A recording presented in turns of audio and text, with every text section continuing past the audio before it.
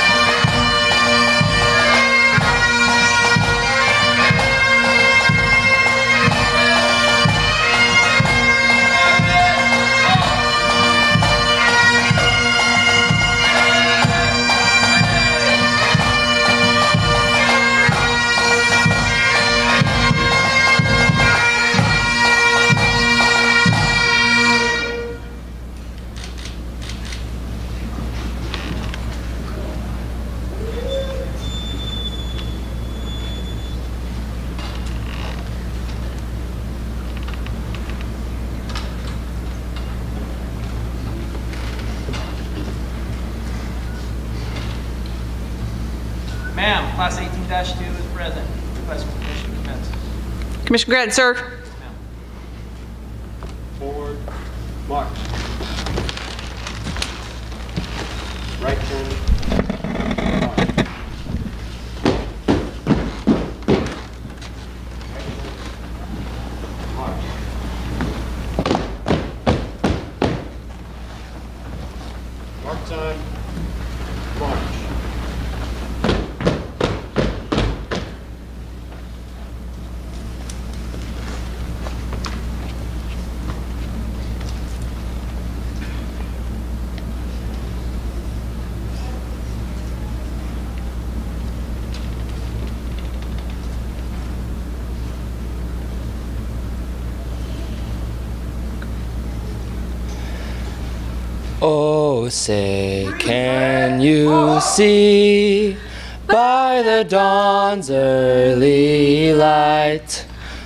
So proudly we hailed at the twilight's last gleaming, whose broad stripes and bright stars through the perilous fight o'er the ramparts we watched were so gallantly streaming, and the rocket's red glare, the bombs bursting in air, gave proof through the night that our flag was still there. Oh, say does that star-spangled banner yet wave o'er the land of the free and the home of the brave?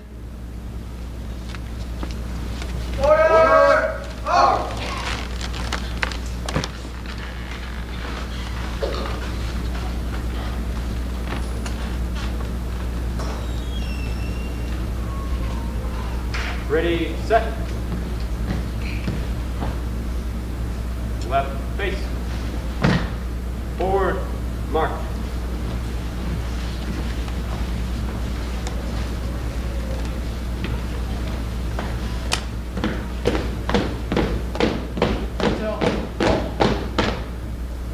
Right face. Ready, set.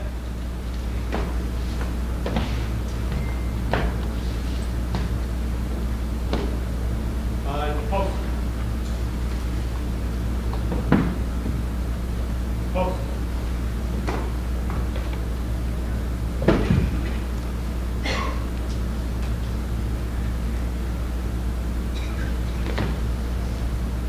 Left face. Forward, march.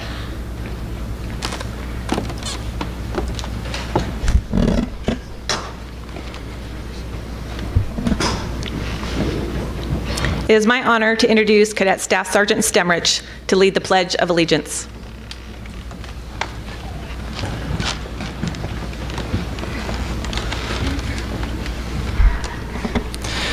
Please join me in the Pledge of Allegiance. I pledge allegiance to the flag of the United States of America and to the republic for which it stands, one nation, under God, indivisible, with liberty and justice for all. It is now my honor to introduce Cadet Senior Airman Mundell to deliver the invocation.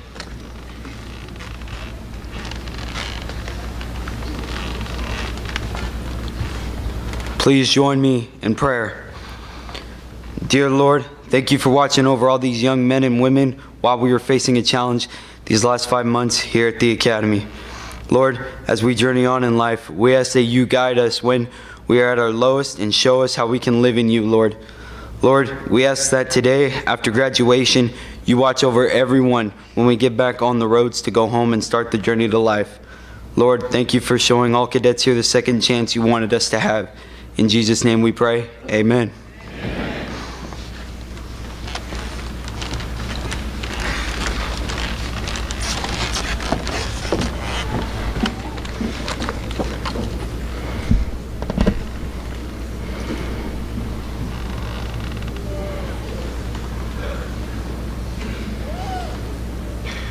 Please be seated.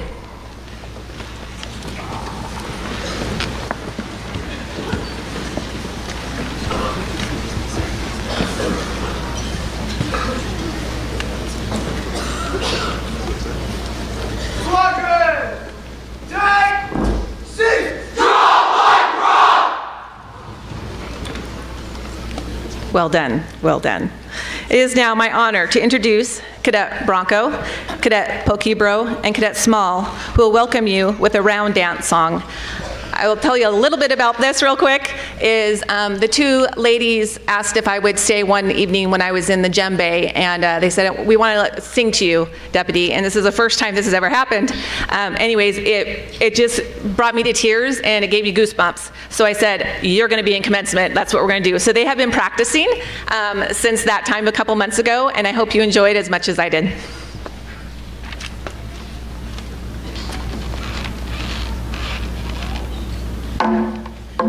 Way. On,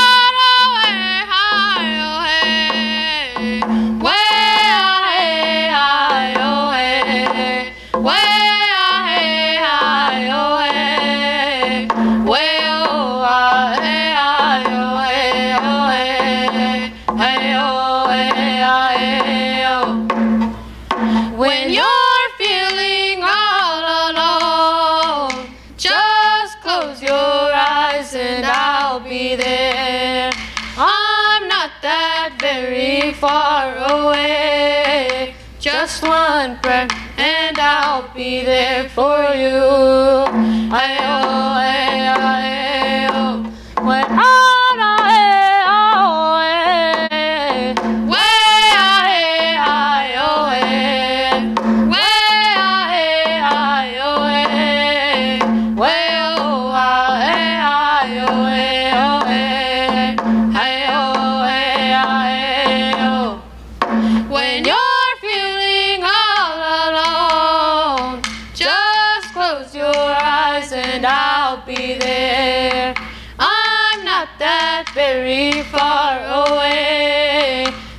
One breath and I'll be there for you. Ayo.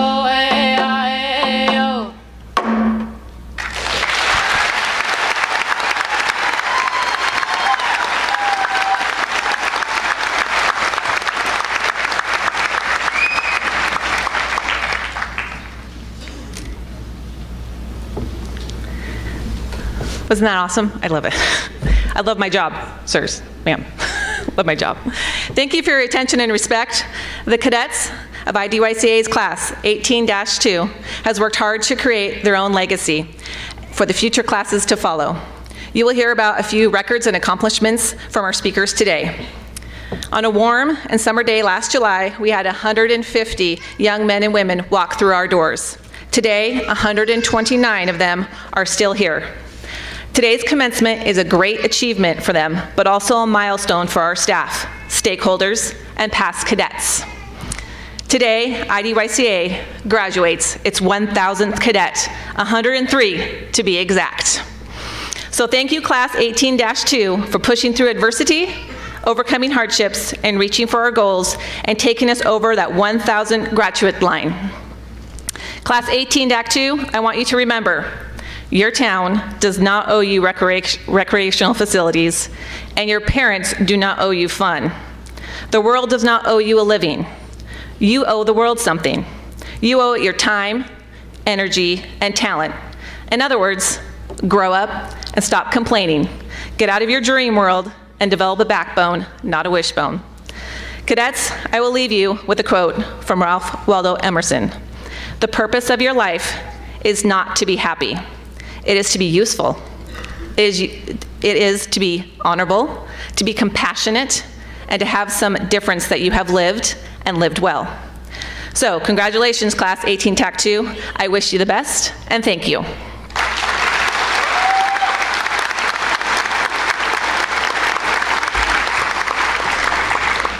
Idaho Youth Challenge cadets, distinguished guests, ladies and gentlemen, it is my honor to introduce our director, Trevor Sparrow.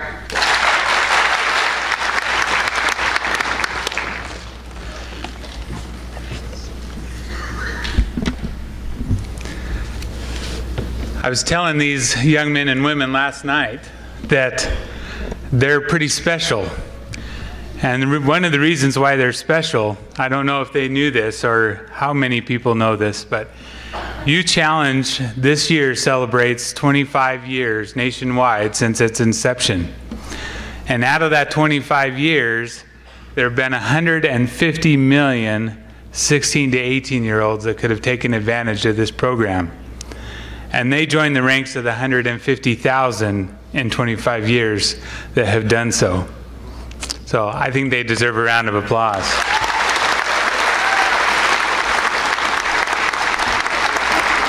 Very, very small percentage. Good afternoon and welcome to our ceremonies today. Cadets, you made it. Your family made it.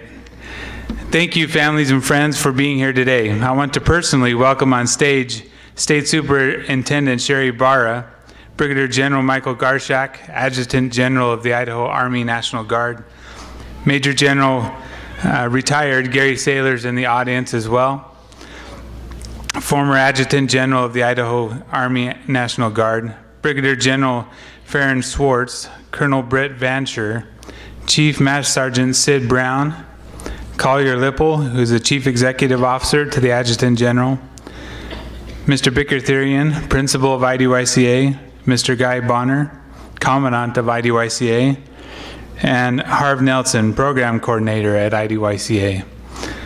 It's also an honor to have on the stage representatives from U.S. legislatures, Idaho state legislatures, tribal officials, and local community and school district leaders.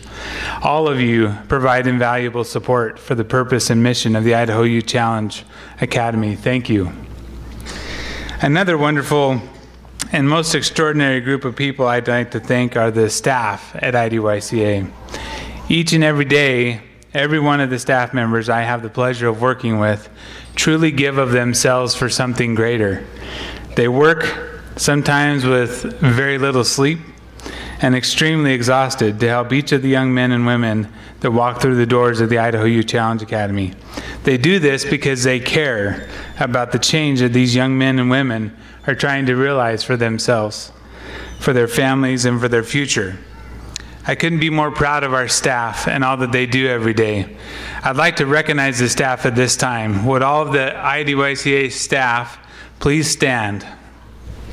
Some of you are out there in the dark, I can't see you.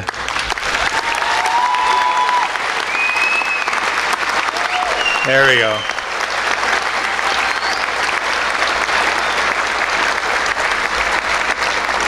Very, very talented group of individuals. I, I am very honored to work with all of them. To the parents, grandparents, aunts, uncles, thank you for being letting us being a part of your children's lives. They've learned so many things while being here. Give them a chance to prove to you that they have become responsible young adults with goals, great ideas, manners. Yes, I said manners and a true dedication to continue to strive to be a better person every day. We've grown very close to these young men and women, and it's tough for us to let them go. But they're ready, and we're very excited for them. To our wonderful class, 18 TAC 2, where do I begin? I promise it won't be long. 22 weeks ago, you embarked on a journey of a lifetime, and you started a journey that required tremendous amount of courage and resilience, searching for a change and dreaming of success. We're excited to see the great things that you'll do as you embark on your next journey. I wanted to talk to you a little bit about that journey. On April 23, 1910, Theodore Roosevelt gave what would become one of the most widely quoted speeches of his career. The former president, who left office in 1909, had spent a year hunting in Central Africa before embarking on a tour of Northern Africa and Europe in 1910. Attending events and giving speeches in Cairo, Berlin, Naples, and Oxford, among others. He stopped in Paris on April 23rd and at 3 p.m. at the Sorbonne before a crowd that included ministers in court dress, Army and Navy officers in full uniform, 900 students, and an audience of 2,000 ticket holders, Roosevelt delivered a speech called Citizenship in a Republic, which among some would become to uh, be known as the man in the arena. In addition to touching on his own family history, war, human and property rights, the responsibilities of citizenship, and France's failing birth rate, Roosevelt railed against uh, cynics who looked down at men who were trying to make wor the world a better place and a difference for themselves. In summary, Roosevelt stated that the poorest way to face life was to criticize those who were trying. So, in front of all of these officers and, and ministers in court dress, and well over 2,000 ticket holders, I bet you want to know what he had to say. Here's what he had to say. He says, It's not the critic who counts, not the man who points out the strong man's, how the strong man stumbles, or where the doer of deeds could have done them better. The credit belongs to the man in the arena, whose face is marred by dust and sweat and blood, who strives valiantly, who errs, who comes short again and again, because there's no effort without error and shortcoming, but who does actually strive to do the deeds, who knows great enthusiasms, the great devotions, who spends himself in a worthy cause, who at best knows in the end the triumph of high achievement, and who at worst, if he fails, at least fails while daring greatly, so that his place shall never be with those cold and timid souls who n- neither know victory nor defeat. I'm guessing he might have been a little surprised at his response. It's been quoted over and over again. Presidents uh, past his time have quoted that. And it's been used in sports, which I'm sure a lot of you can relate to, so I'm going to go there. Um, Mark DeRosa of the Washington Nationals would read it to himself before big games, before the Nationals faced uh, uh, before the Nationals faced the St. Louis Cardinals in Game Four of the National League Division Series in 2012. DeRosa read it aloud to his teammates. He said about this infamous quote, That's a quote I've always gone back to. I go to that a lot. I really do. I've done it since college. I like it because people think they know, but they have no idea what we're thinking from pitch to pitch. With our backs against the wall, I wanted to say something that brought us together. A little band of brothers. Go out and fight. See what happens. I felt it was fitting. It fires me up when I read it. The team was victorious that night. So, Class 18 2, I say to you, no one has any idea what you are thinking from pitch to pitch. During life, you will have your back against the wall. Remember the skills you've acquired over the last 22 weeks. Go out and fight. See what happens. You'll always come out victorious as long as you hold your head up high and keep trying. Stay in the arena. Congratulations, 18 TAC 2.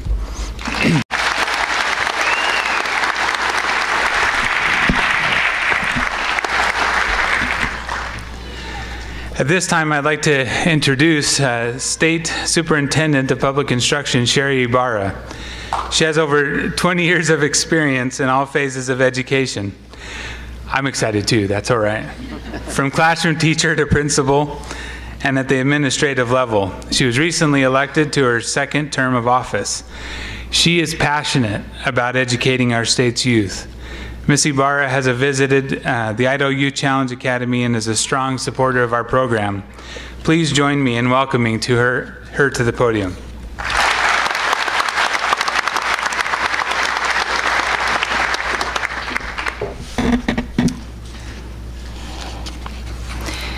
Well, good afternoon. I just want to take a moment to uh, thank General Garshak and Director Sparrow and Principal uh, Therian for asking me to be a part of this very special day and uh, the Academy's commencement. Today we honor 129 cadets who have made a brave and bold and life-changing decision to enroll in the Idaho Youth Challenge Academy and see their commitment through to graduation.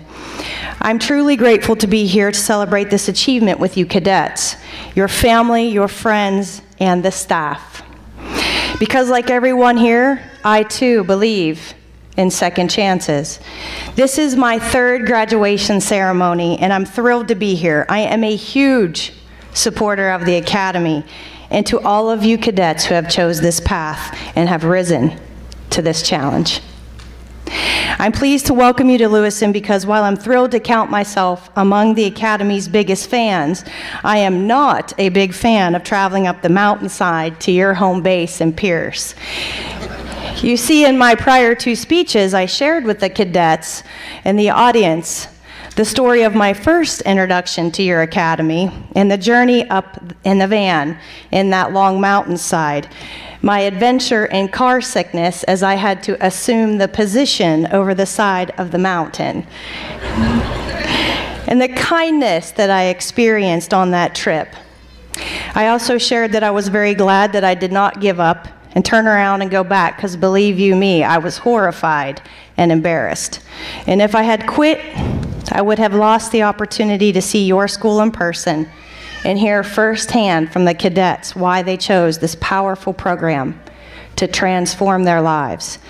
That experience as your state superintendent of public instruction made me one of the Academy's biggest fans. And today I also want to share with you a very personal connection with the class today. And honestly, I hope I can get through this speech today without tears. In prior years, I've attended this commencement ceremony, like I said, in my official capacity as your state superintendent. But today, I am attending as I feel like I am a family member.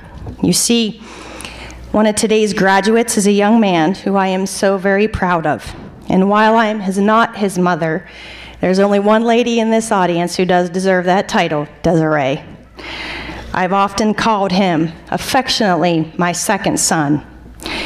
We first met when he was a bright eyed middle school student, and he and my son became best friends and shared a passion for baseball, video games, and became constant companions. He was a fixture at our house, spending, yes, weeks at a time during summer breaks. And with the exception of last summer, he joined our family on summer vacations. And like many of you here, life circumstances began to change for this young man, and he struggled, and I began to worry.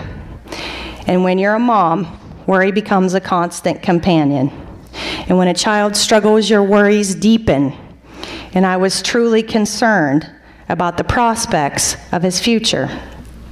Like his mother and his family that are here today, and his Mimi, we feel truly blessed that the Academy was here for him. We're grateful he made the five and a half month commitment to the Academy, and for the next 12 months we'll work closely with a mentor. I am over the moon that he will graduate today. I know how you must feel as parents and as family members. In fact, I'm proud of every single cadet here today who made the decision to enroll in the Academy, embrace the challenges, that symbolizes the mountainside that you have called home. The challenges that led my second son and you all up the same mountainside are as unique as you are. For some, it's issues with the law, drugs, alcohol, maybe others, abuse, and some other, maybe some other type of difficulty that's interfered with success or in school or just life in general. But what impressed me when talking with you and learning from your staff and you all was that somehow in the midst of all of that those circumstances there was a spark that was still alive in each and every one of you. A spark to change, to walk a different path, to invest in yourself, to reach for something much better. You believed that you were worth another chance. You chose to come to the academy you stayed once you got here, and boy, I watched it all, and I know it wasn't easy. You made it through that tough two week start. No contact with the outside world, no internet, and lots and lots and lots and lots of physical training. I know that that digital withdrawal had to be a shock to you. No phone, no computer, no texting, no internet, no games, and that's the lifeblood of today's teen. And I suspect that you learned something most teens won't ever learn. That those things are nice to have, but far more important is the sacrifice that you gained. A healthy, fit body, a clear mind that's open for learning, a knowledge that, surface, that service to others is a powerful force for the good. You learn that with all, with all that PT, you're a lot tougher than you ever imagined. You learned firsthand that you don't need the right clothes or the right makeup or even a private shower or your own room to be successful. You did it. You discovered that when all those distractions are stripped away and your mind and body are healthy, you can accomplish great things. You've learned that you're smart, you're strong, you're resilient, and that people care about you, and yes, we do believe in you. You also experience the quiet satisfaction of serving others and working to build up communities that support you and this academy. You should be proud of all that you have accomplished and learned. I am proud of you, and so is every single person in this auditorium. To the parents and the families that are gathered here this evening or this afternoon, excuse me, must feel like a day so, not so long ago when you first welcomed these young men and women into the world for the first time. It was a time of joy and hope and dreams of a bright future. Today, we find that same joy of restoration and hope and dreams. The future for our cadets is bright indeed. To those in the audience who trusted the folks at the Academy to guide your child to success, I commend you and I offer you my thanks. To the educators and the leaders at the Academy who never gave up on these young men and women, personally, from the bottom of my heart, thank you. The staff has been relentlessly committed to their physical, academic, and personal success. So, one more time, if we could just take a moment and applaud them.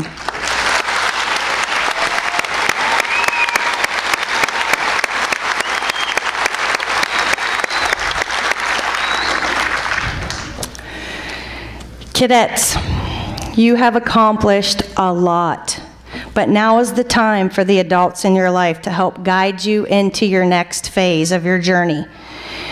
My challenge to all the adults here is to follow the advice of noted educator Rita Pierson, who said, Every child deserves a champion, an adult who will never give up on them, who understands the power of connections and insists that they become the best that they can possibly be. We must support these cadets as they strive to stay committed to that living a healthy, disciplined lifestyle, taking the next steps to complete their education or go on to higher education or join the military or the workforce. For my part, I'm excited to once again stock up my refrigerator for my second son. And I'm here to cheer and support his success and every single one of you every step of the way. Cadets, as your superintendent, I will continue to share your success stories with others. And I will continue with academy leaders and state leaders to strengthen the workforce and education connections that support your progress and the success of other future cadets just like you. And it's my hope that we can replicate this program for other students across Idaho who need another path of success, just like you. Like you, they deserve an opportunity to succeed too. I have one last comment for you cadets today. Let's call it a little motherly advice. At some point in the future, you will be challenged. You'll be tempted to quit or stray from this path here today that you have chosen. I invite you to look back on this day and remember how success achieved through sacrifice and lots and lots and lots of hard work feels. It feels great. You did it. You earned it. And know with absolute certainty that when you strip away all the distractions, you are tough, you are smart, and you are up for any challenge that is handed to you. Just a few months ago, you made an important choice to climb a mountainside and change the entire path of your life. And you are a better person for it. When you started the program, you had no idea who your fellow cadets were going to be, who your instructors were, yet they stood with you. You were not alone. And going forward, trust your mentors. They'll guide you, and you will not be alone as this journey continues. As you leave the mountainside and graduate today, you're again faced with an important choice. As I enclose, as I close up here, I invite you to consider the quote, shared by a staffer at the Academy. The people we surround ourselves with either raise or lower our standards. They either help us to become the best version of ourselves or to become a lesser version of ourselves. We become just like our friends, and we all need people in our lives who raise our standards and remind us of our essential purpose and, our and they challenge us to become the best version of ourselves. Seek out this better you and in turn help others raise their standards. Congratulations to all of you. We're all so proud of you, and I wish you all the best as you pursue a very bright future. Thank you, and Merry Christmas.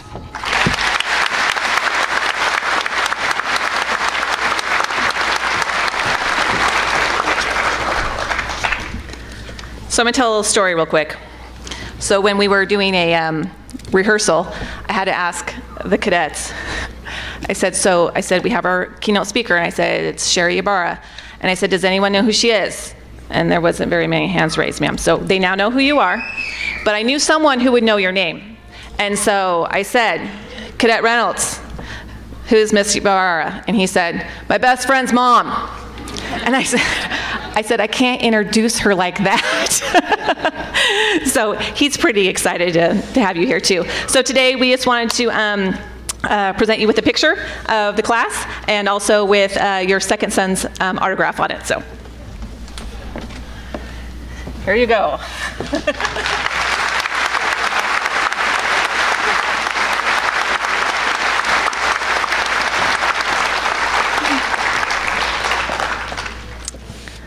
So moving on, we're going to, uh, if you open up your programs and notice the web link um, to the IDY Youth Foundation in your program insert. Scholarships are just one a part of how the foundation supports the Academy and our mission to intervene and help the youth reclaim their potential. They also support incentive awards during the program, legacy projects that the cadets initiate, and many other Academy needs. If you have a Facebook page, the foundation encourages you to like that page today to help boost our presence to Idaho youth who might need this opportunity. Our foundation is sincerely hoping that you will share it with our friends and family and ask them to share it too. The foundation has graciously awarded three of our current cadets $500 scholarships to assist them with their college endeavors. As I read your name, please come up to the stage to receive your scholarships from Brigadier General Garshak. From the GEMS flight, Cadet, St Cadet Staff Sergeant Valenzuela.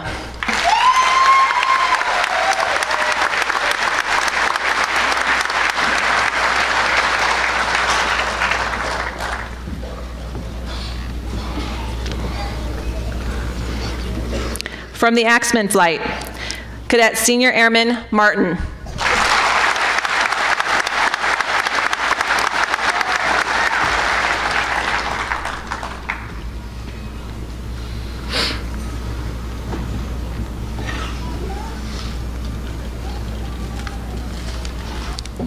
And from the Scouts flight, Cadet Staff Sergeant Stapp.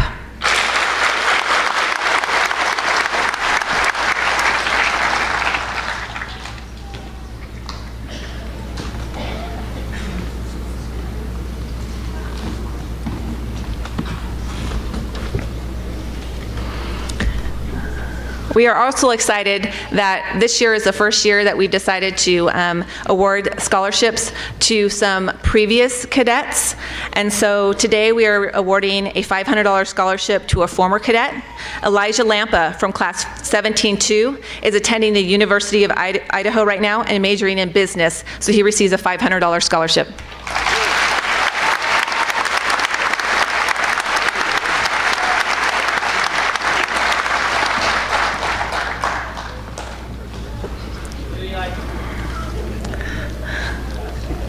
Congratulations. We also have um, one more, but he's not here um, right now, so you can have a seat, sir. But it's Emilio Fisher.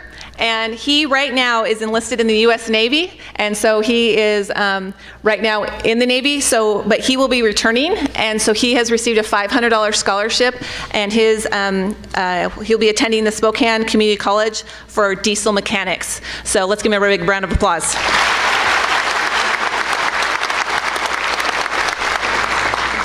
So I'd like to introduce Michael Garshak, the Adjutant General for the Idaho National Guard. Thank you, Melissa.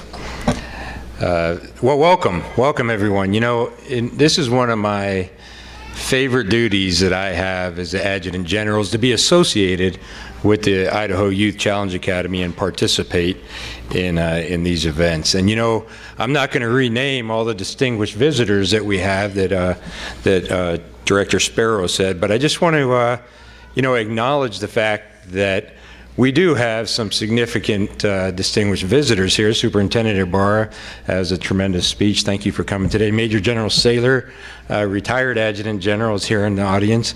You know, we have tribal leadership, local, state, and national level leadership.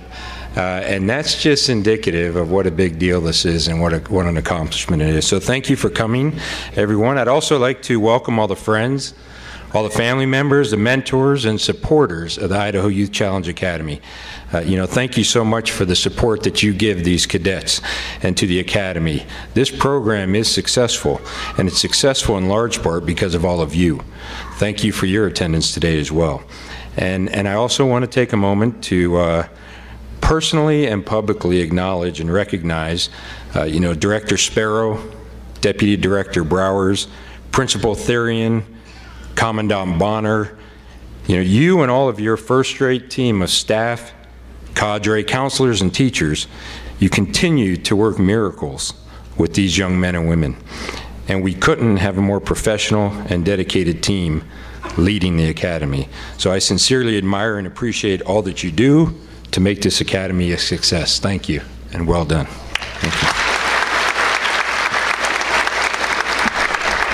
And then to the cadets, I just want you to know that I'm truly inspired by you, by each and every one of you.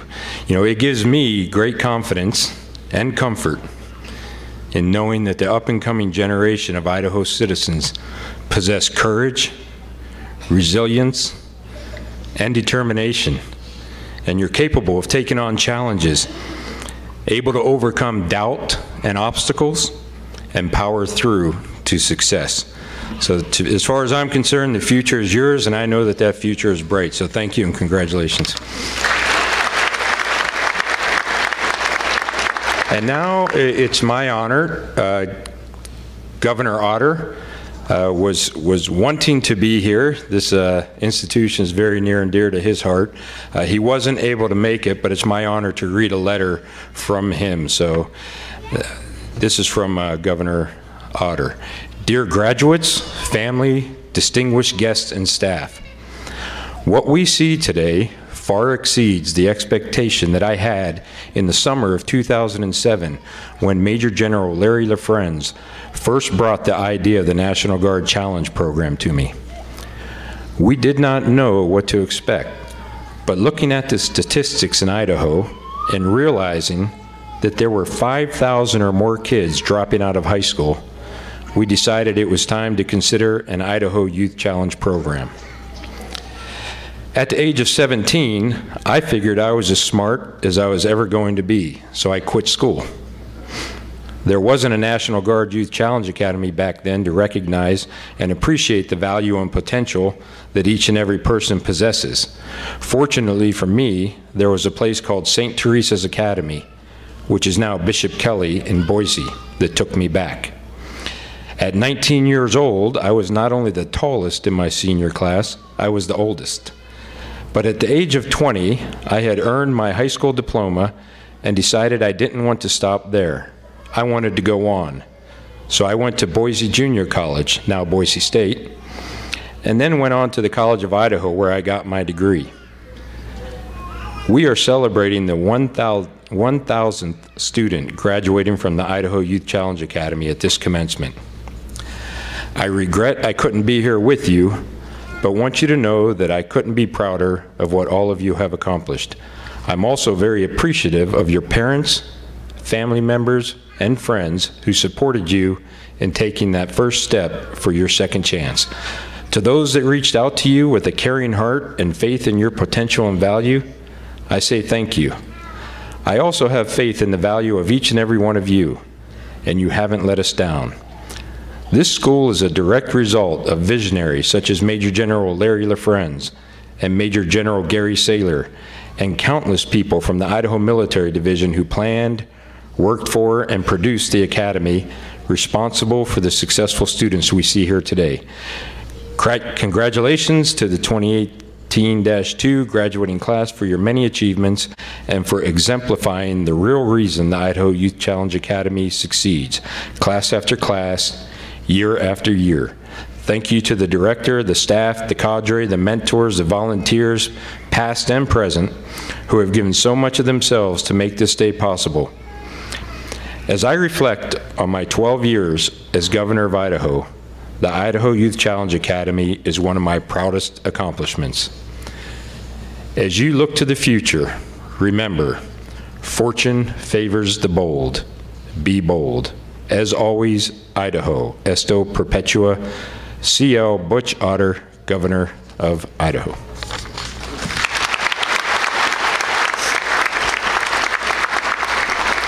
And then now, before I uh, turn the stage back over to uh, Deputy Director Browers, we have a special presentation.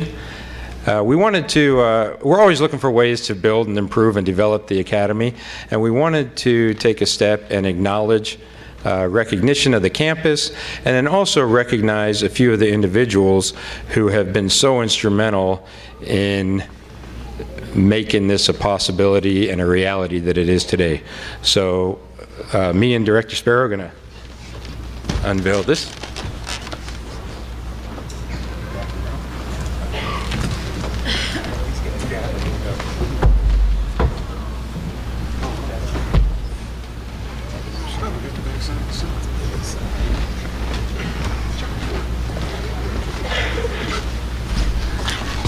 Yeah, that'll be placed on the campus. It establishes a. How did you read it? Want to get the date right. July 1st, 2012, the official uh, uh, birth of the Idaho Youth Challenge Academy, and it has Governor C.L. Butch Otter and Major General Gary Sayler. So there you have.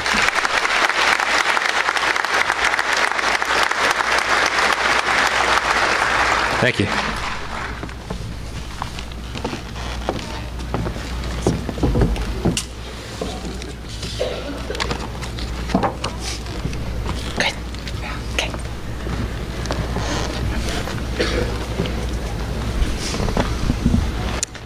Every cadet was required to write a speech in English class.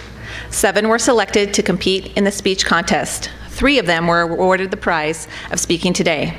It is my great honor to introduce Cadet Staff Sergeant Juarez.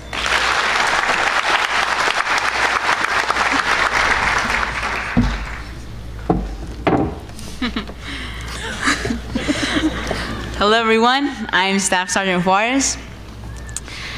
Last night, I was laying in my rack, unable to sleep, and I thought to myself, how on earth did my squadron survive to graduate? I reached the conclusion that it was due to four simple yet powerful words, which are resilience, confidence, determination, and family. We pushed through every day, tired but stubborn. Stubborn because we grew up fighting different demons, and this was one fight we weren't losing or alone in. We were confident in who we were. It took time, but we reached a new level of confidence that none of us had achieved before. Once we did, you couldn't have caught any of us with a jacked up collar, untucked bootlaces, or any self doubt about who we are. The word family stands out the most to me. I came to the academy with the mentality of I will trust no one, that then transformed into family isn't always blood, and I'm there for my sisters and brothers. I didn't come to this academy as the only one who needed guidance in my life.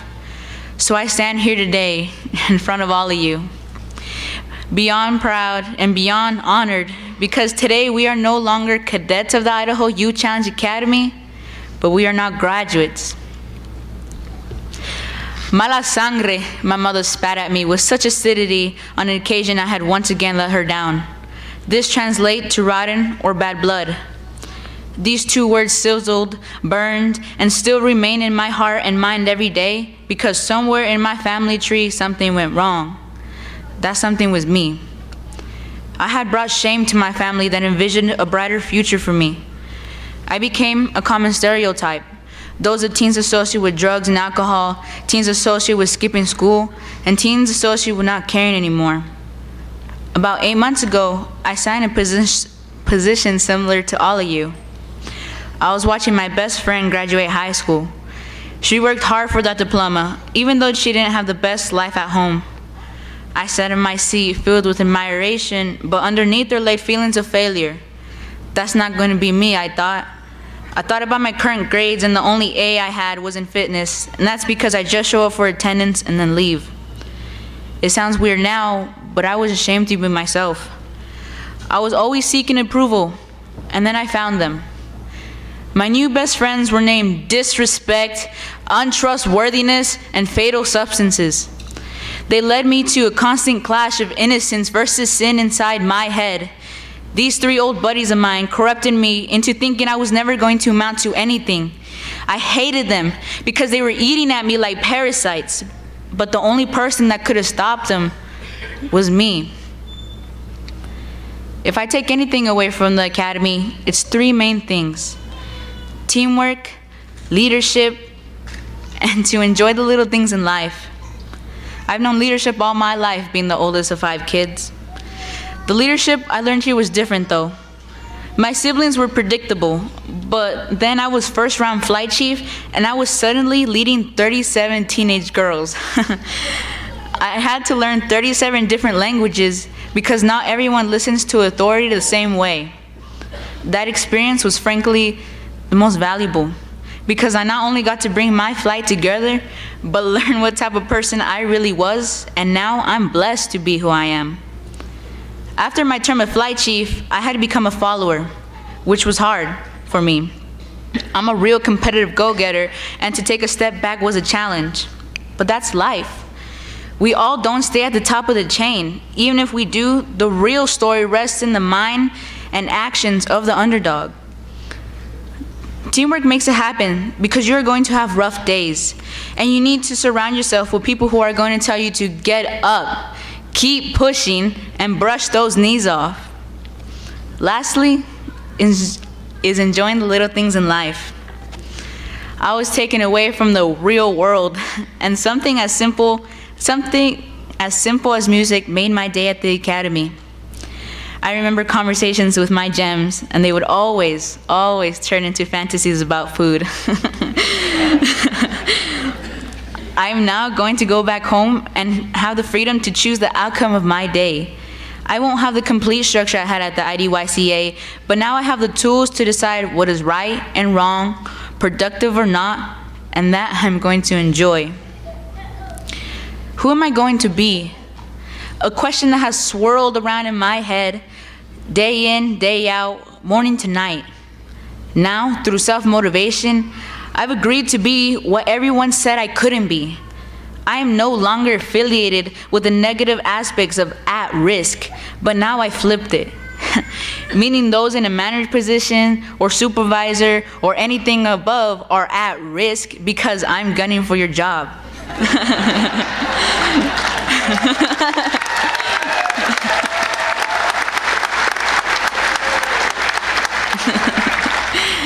I hope all of us do the same.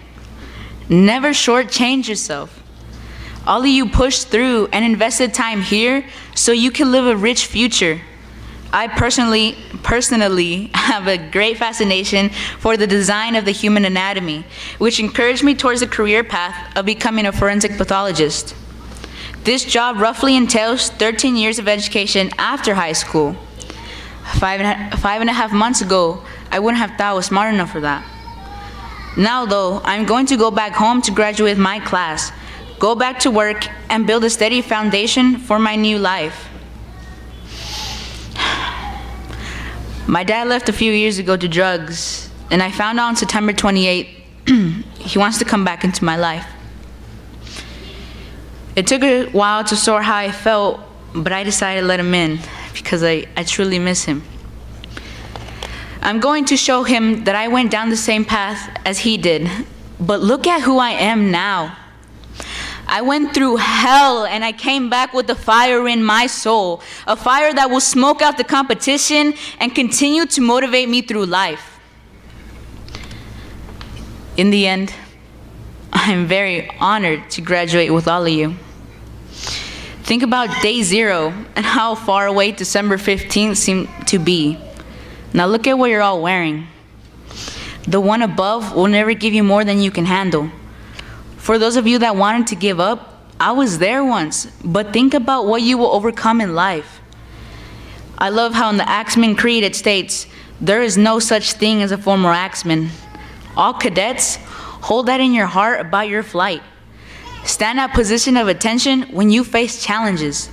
Chin parallel to the deck, shoulders back, and proudly represent your name. Tell yourself there is no such thing as a former Mount Gem or Scout. Carry on a legacy no one your age can relate to. Remember the past and honor it. Live in the now and look forward to the many changes in the future, as my mentor once wrote me. I want you all to know this is not a goodbye, but just a see you later, because executive can't wait to see how you all thrive in your new lives. Thank you all.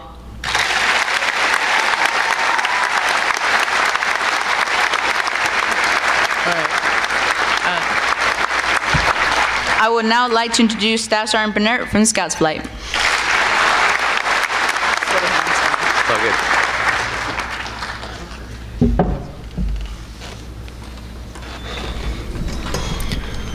All right. Juarez did really good. That was amazing. Um, I'm probably going to cry the whole time, so be ready for that. Uh, good afternoon, friends, family, staff, and cadets. And welcome to the commencement of Class 18 Tech 2 of the Idaho Youth Challenge Academy. My name is Stetson Bernert, but while here at the Academy, my name is simply Cadet Bernert. I'm incredibly pleased and excited to be here today, and even more thrilled to have the opportunity to speak in front of all of you. I would like to start by sharing a quote with you that means a lot to me. I've kept it in my mind throughout the program, on my bad days as well as my good days. It goes like this We've come so far, now here we are. We made it through the night. I know we will be stronger still. Everything will be all right. It's by Weezer. Um, I really enjoy that band, but that quote means more to me than it just being a good song. I'd like to elaborate on those lines and relate them to my experience and the experiences of other cadets while here at the Idaho Youth Challenge Academy. We've come so far. Those four words have never been truer than they are right now, on this day. Every single one of us has come way farther than we thought we could. Every cadet that is here today showed up on day zero and completed the program. We all made mistakes, and we all achieved spectacular things. But most importantly, we didn't give up, and we pushed through until the end. The next sentence of the quote is, Now here we are. And look at that. Here we are. I remember day zero, that first night, lying in my bunk, staring out the window at the purple and pink clouds, watching the sunset, and bawling my eyes out. I remember hearing my fellow scouts all around me doing basically the exact same thing. I vividly remember whispering to myself, I can't do this. Why am I even here? Now, here I am at commencement, five and a half months from that very day. And you know what? Not only did I prove myself wrong and answer my own question, but so did everyone else. We can do this, and we did. I'm here because I needed to make a change in myself so that I could be the best person I can be. And I did. Moving on to the next sentence, it says, We made it through the night. A man I deeply respect once told me, There's nothing that will happen today that you can't handle. In my mind, I like to think of these past 22 weeks as the night. When I fell off the face of the earth and half of my friends had no idea where I even went. I also like to think of the night as the hardest part of each day. The night is when our fears and our mistakes come out of hiding, when they show themselves for what they really are. The Idaho Youth Challenge Academy brought out my fears and my mistakes, shining a big bright light onto who I really was. At first, I was scared of the night. I was scared of what lurked in every corner and within the shadows of my mind. I didn't want to face who I truly was. The Academy helped me to defeat those fears and erase those mistakes, just as it did for all of the other cadets graduating today. I can now say with confidence that the night is through, the sun is rising, and we are all better because of it. I know we will be stronger still. After today, all of us are going to go back home. We need to be strong. Some of us may want to leave more than others, and some of us would like to stay a little longer. Either way, we need to be brave. We need to be courageous. Just because the residential phase is over doesn't mean this way of life is over. Once we're all back, life will throw challenges towards us like never before. All of us have new skills, knowledge, and abilities that we want to apply in our lives. We are essentially new and improved people being thrown back into a world of old and dilapidated circumstances. It will be harder than ever to return home and stay on a path towards success while you're surrounded by a forest of ruin. So, here I am, warning all of you right now to not return to the world you once knew, a world of chaos and failure. I know it will be tempting, and many past cadets have fallen back into that world. Instead, I want you to return to that world with confidence, courage, and strength. The last sentence of the quote states, Everything will be all right. Today's the day, the day we've all waited for since July 14th. It's the day we need to come home, whether you want to or not, whether you're scared or not. It's here, and there's nothing you can do about it. And that last sentence holds nothing but truth because everything will be all right. Cadets, go home, be yourself. Dress the way you want, eat the food you want, sleep in your bed. I don't care because I know for sure that's exactly what I'll be doing. Make the right decisions. Stay motivated and stay dedicated. Do your very best in life. Always remember what happened here at the IDYCA. Treasure the good times, the friendships you forged, the lessons you learned, and the mistakes you made. Most importantly, never allow yourself to send those fond memories, newfound friendships, life lessons, or mistakes into oblivion. Please, don't forget who you have become. I'd like to close by addressing a few other things. First, I want to thank everyone, cadets, my squadron as a whole, for pushing yourselves to the end, believing in each other and yourselves, even when you wanted to give up. My teachers, for showing me that I can do great things, that we can all do great things, and that all of us are truly smarter than we believed we were. My tech sergeants, for believing in me and my flight. On the good days, and especially the bad ones, for showing up to work every day and dealing with the craziness that ensued regularly. But above all, thank you for being honest with us. You all showed us that the world sucks, that sometimes we all have to do dumb stuff, and that's just how life works.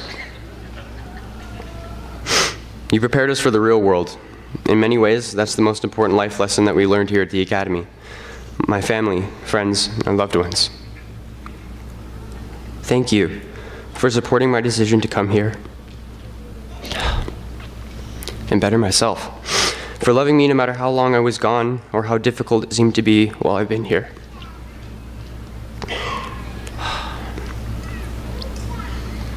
And this is where it's happened.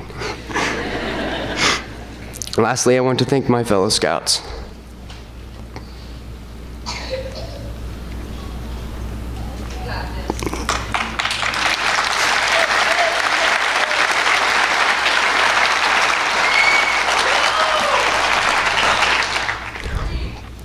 My brothers.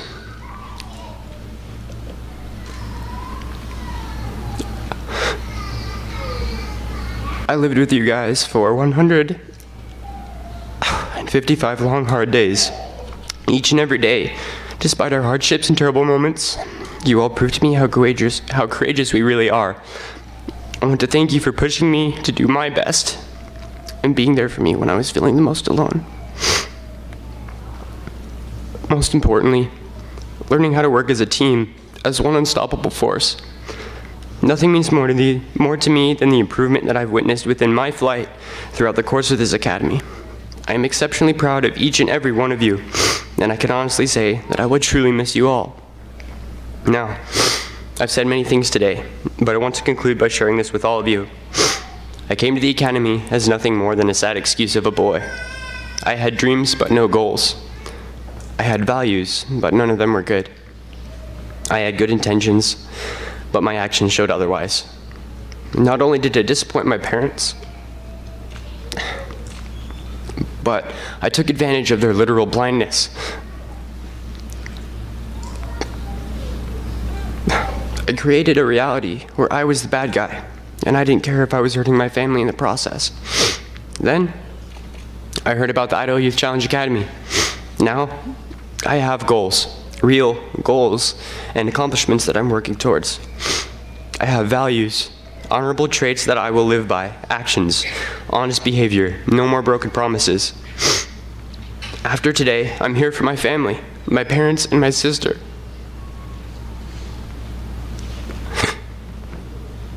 I am no longer a boy because I'm now on the path to become a man. I'm moving onward to success. All I have is the Academy and all the people here to thank for that. Thank you again. Have a lovely day. And for all my fellow cadets, a wonderful future as well. Thank you.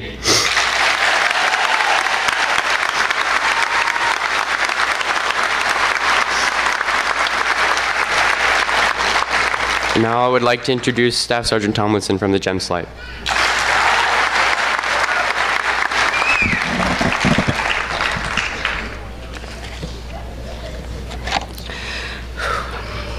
Hello, families, cadets, dignitaries, and staff.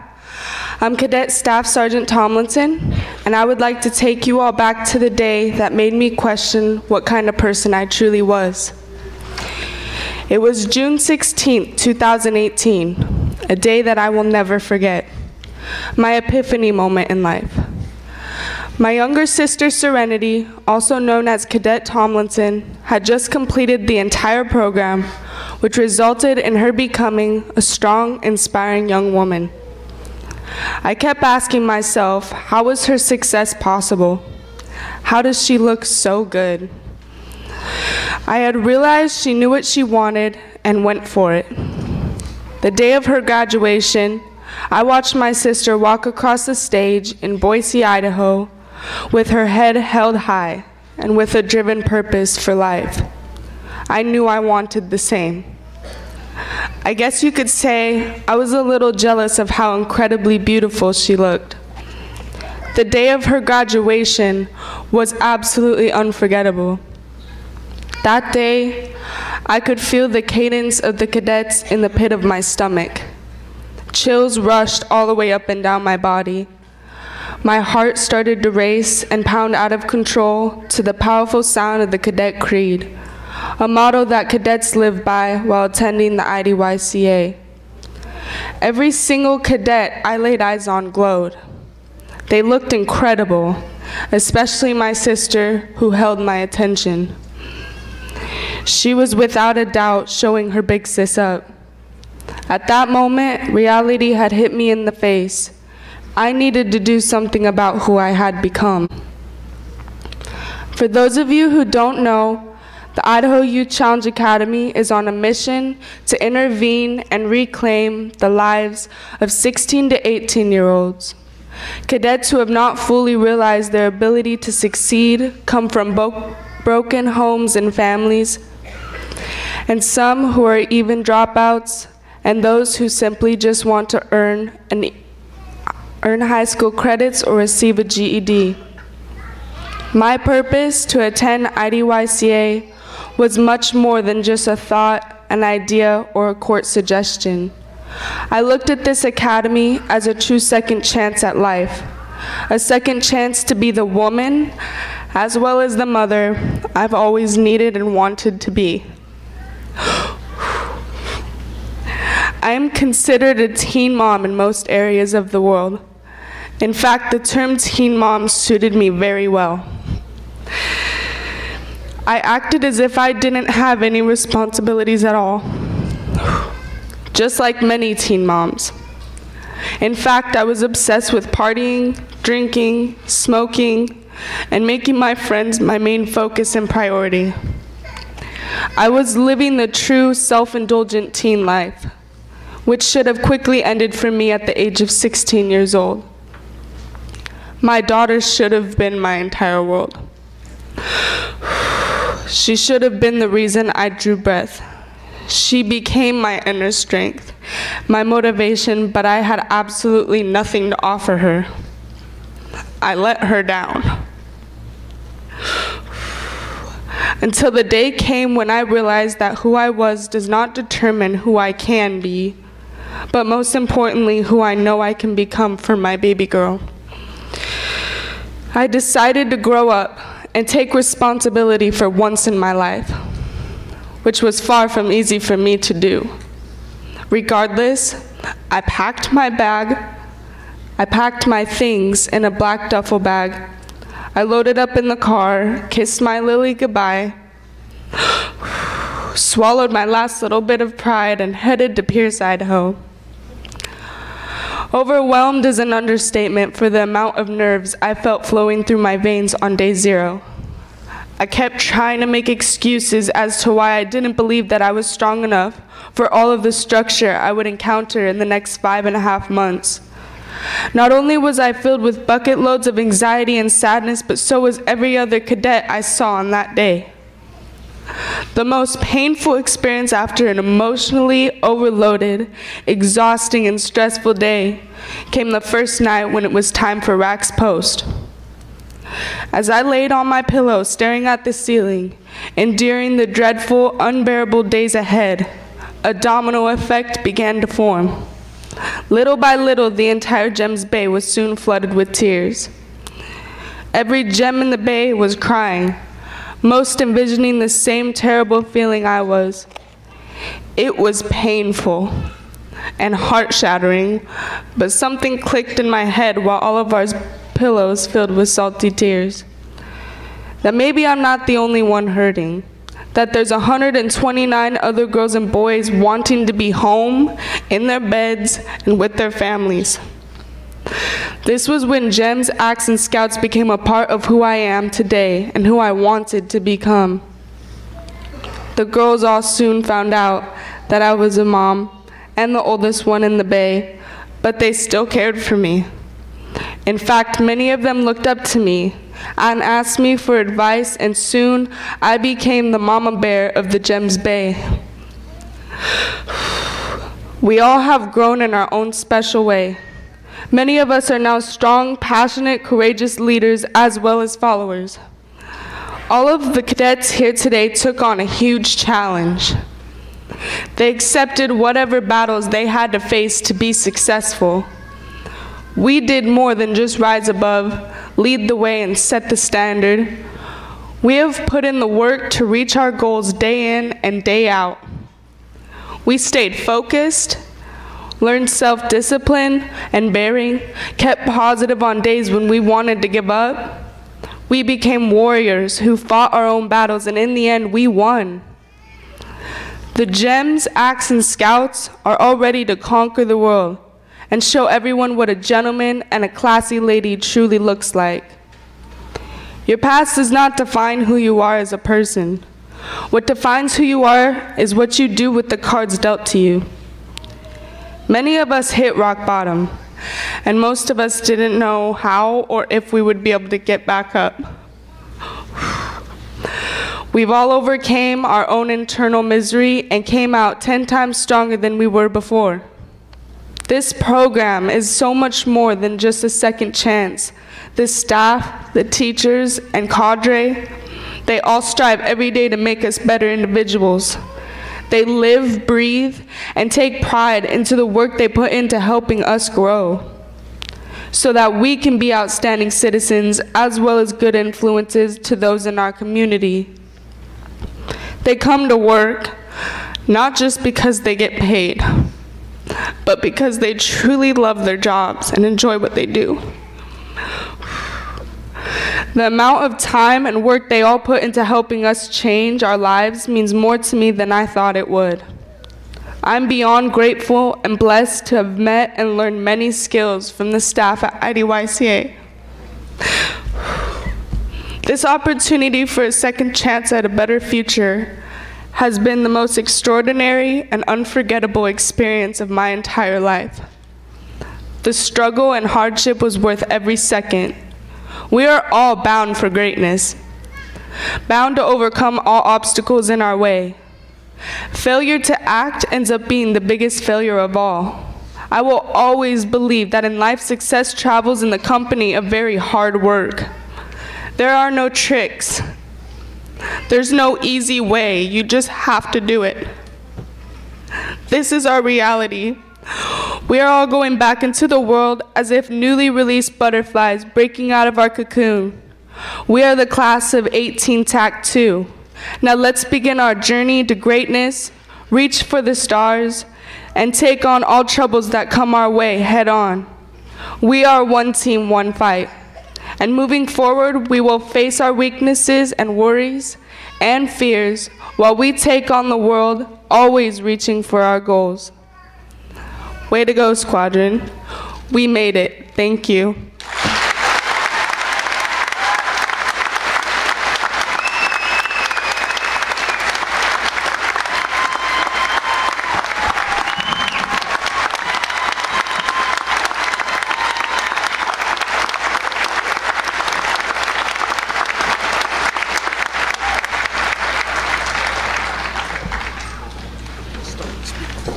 So that's just three of the 129 speeches that we get to listen to and that we get to pick from. So if you can imagine the stories that we hear every day, it's amazing. So all of these cadets also have the help of their adult volunteer mentors who give of their time and love to serve as their coach, friend, and accountability partner in the achievement of their PRAP goals.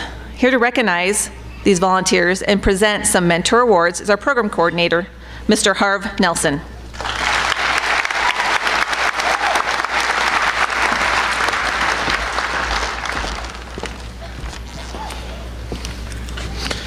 Thank you. Well, Class 18 Deck 2 has set some records. In addition to the largest graduating class we've ever had, Idaho Youth Challenge Academy staff now can literally, literally say we've seen it a thousand times. Class 18-2 has achieved a historical milepost. And we expect, cadets, we expect you to keep making history. You have future successes out there. We've all heard the cliche, we are pulling for you. Cadets, over your lives, many have been pulling for you. Your parents, your family, teachers, your community members, all have taken their turn and still pull for you. Cadets, part of that saying is the implication is a desire that you learn to pull for yourself. The Idaho Youth Challenge Academy staff have taken our shot to help you see you can pull for yourself. As you make good choices, it benefits everyone.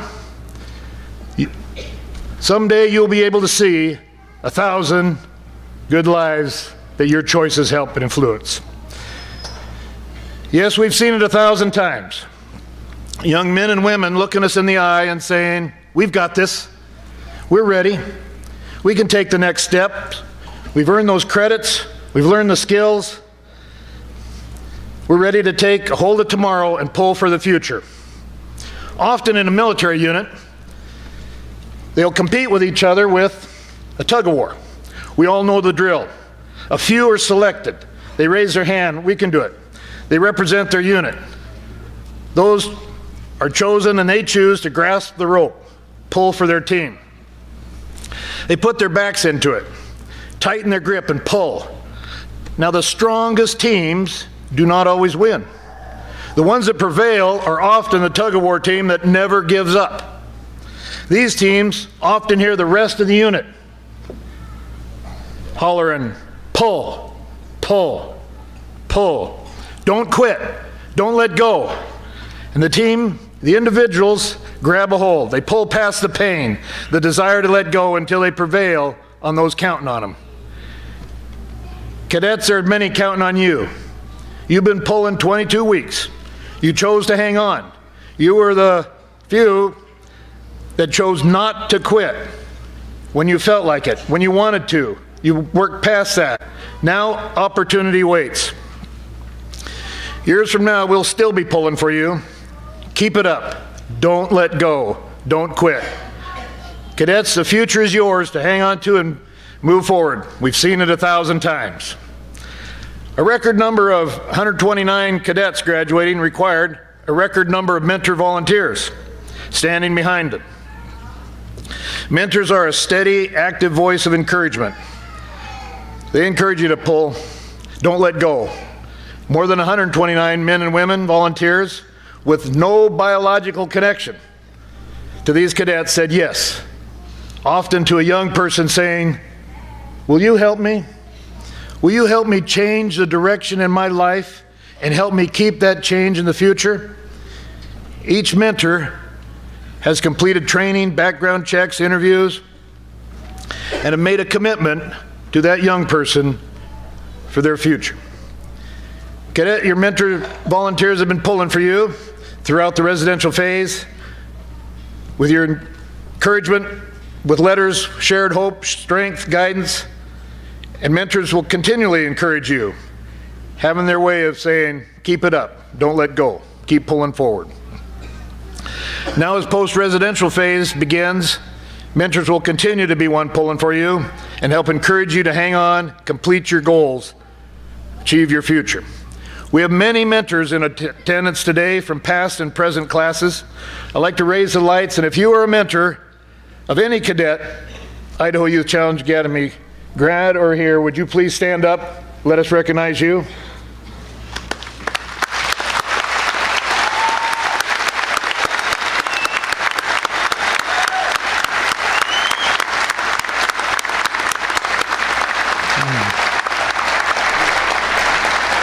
Thank you. Now, coordinating the mentor volunteer program is a huge effort from application to certification. The Idaho Youth Challenge Academy staff member who accomplished this task and coordinates these remarkable volunteers is our post residential coordinator, Dan Drover.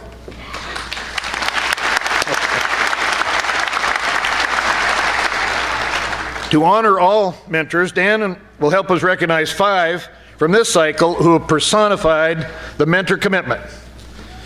Mentor, when your name is called, please join your cadet at center stage to be recognized. Our first mentor is John Blackburn.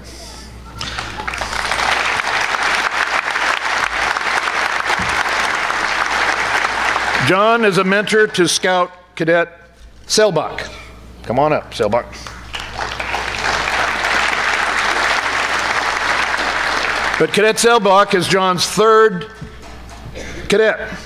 John attended all three mentor days with Cadet Selbach and all the mentor days with his previous two cadets.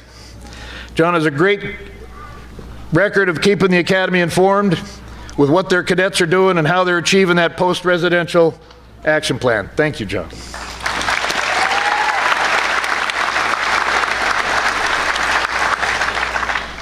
From the GEMS, the award goes to Michelle Carter, mentor to Cadet Knutson. Michelle is unable to attend today's event, so Cadet Knutson, where are you? Come on up.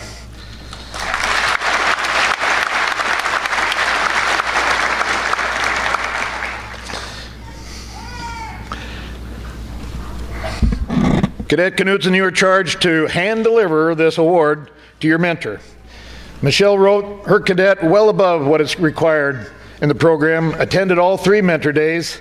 She's a huge supporter of the program.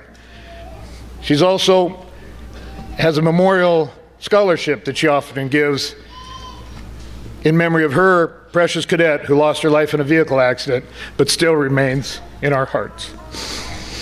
Good. So we'd like to honor two Axeman mentors.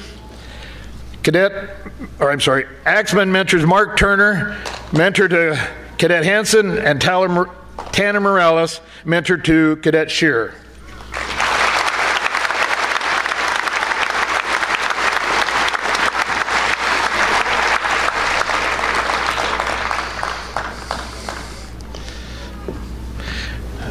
These, these two gentlemen, just proud as to, can be.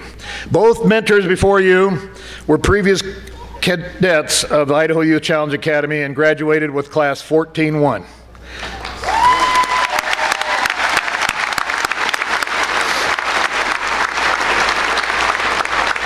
They were both instrumental in getting their cadets to even attend the academy and keeping them here to finish. They both helped the academy at orientations and other events to help those see what a tremendous change in life the Youth Challenge Academy can be for a young person. We have a special award, mentor award today, going to Sky Taylor.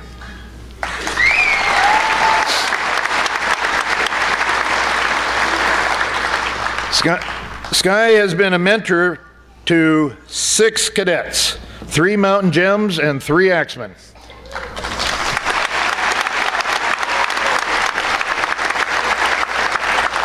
Mentor over six of the la- or ten classes. So she even asked if she can have more than one per class. No, you can only have one per class.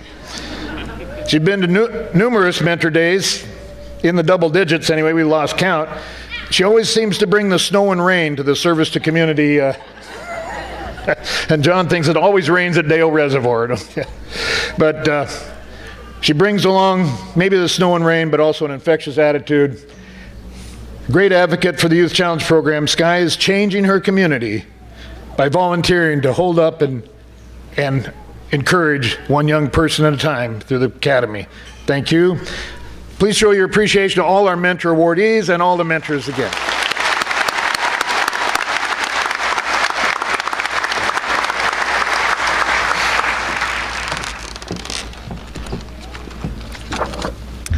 Please welcome Commandant Guy Bonner to share some class and individual achievements during the residential phase.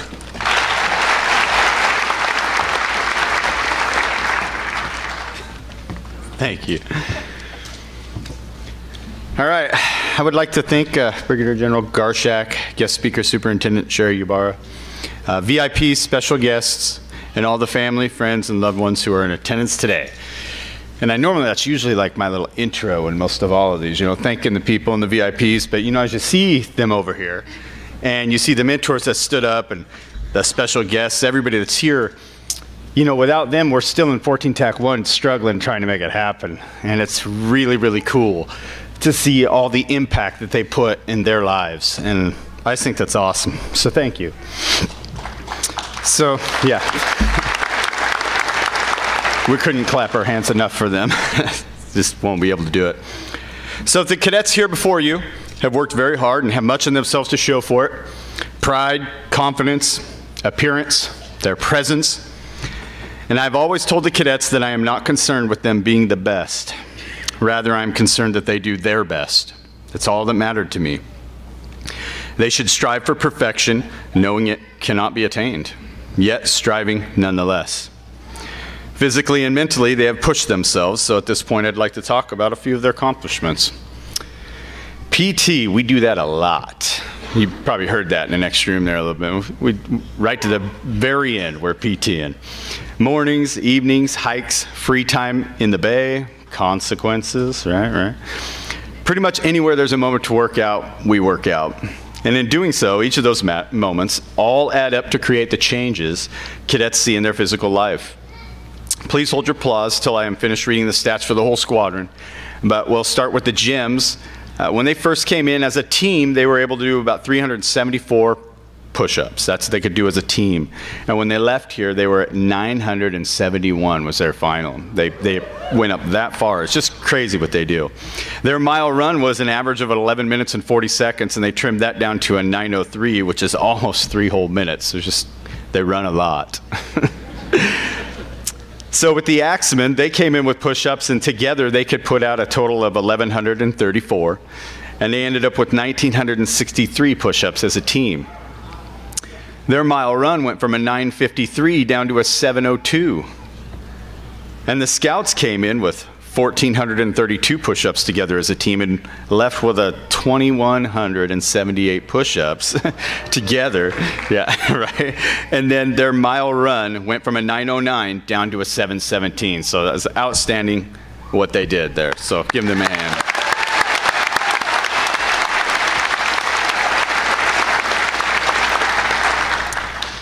Now with that comes the shedding of some weight, of course and uh, they do quite a bit of that. The squadron itself, as a whole, lost 1,177 pounds together. so that's an extreme amount of weight. They did just great. And I know they, they just feel better for it every day. Uh, breaking that down with the Gems, uh, some of the ones who lost the most, of course, a lot of them lost some, but we, I'll just go over a few. Angel lost 28 pounds. From the Gems, Bronco lost 23. Flores lost 27. And Gallegos lost 24 pounds. From the Axemen, we had Bauer, who lost 60 pounds. Buster lost 50 pounds. Purvis, 37 pounds. And Warren, 53. And from the Scouts, we had Cadwallader. He lost 38 pounds. Friday, 42. Small, 38. And Watkins lost 39. But our biggest loser of the squadron was actually the second most that we've ever had in all of our classes. And that is Cadet Slifer from the Scouts. He lost 75 pounds while he was here.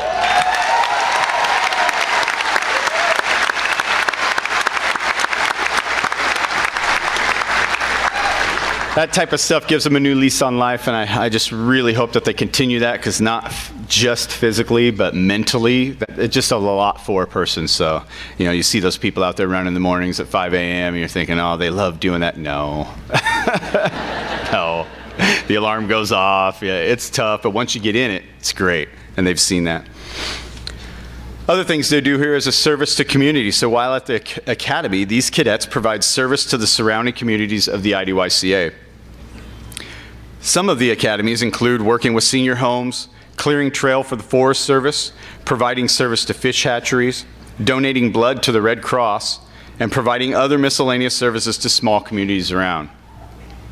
The lights here in Lewiston, they help put those up. So some of you might have seen the lights down in Lewiston. A really cool show. If you want to go down there at night, awesome. The cadets help to do that. Just great stuff that they do.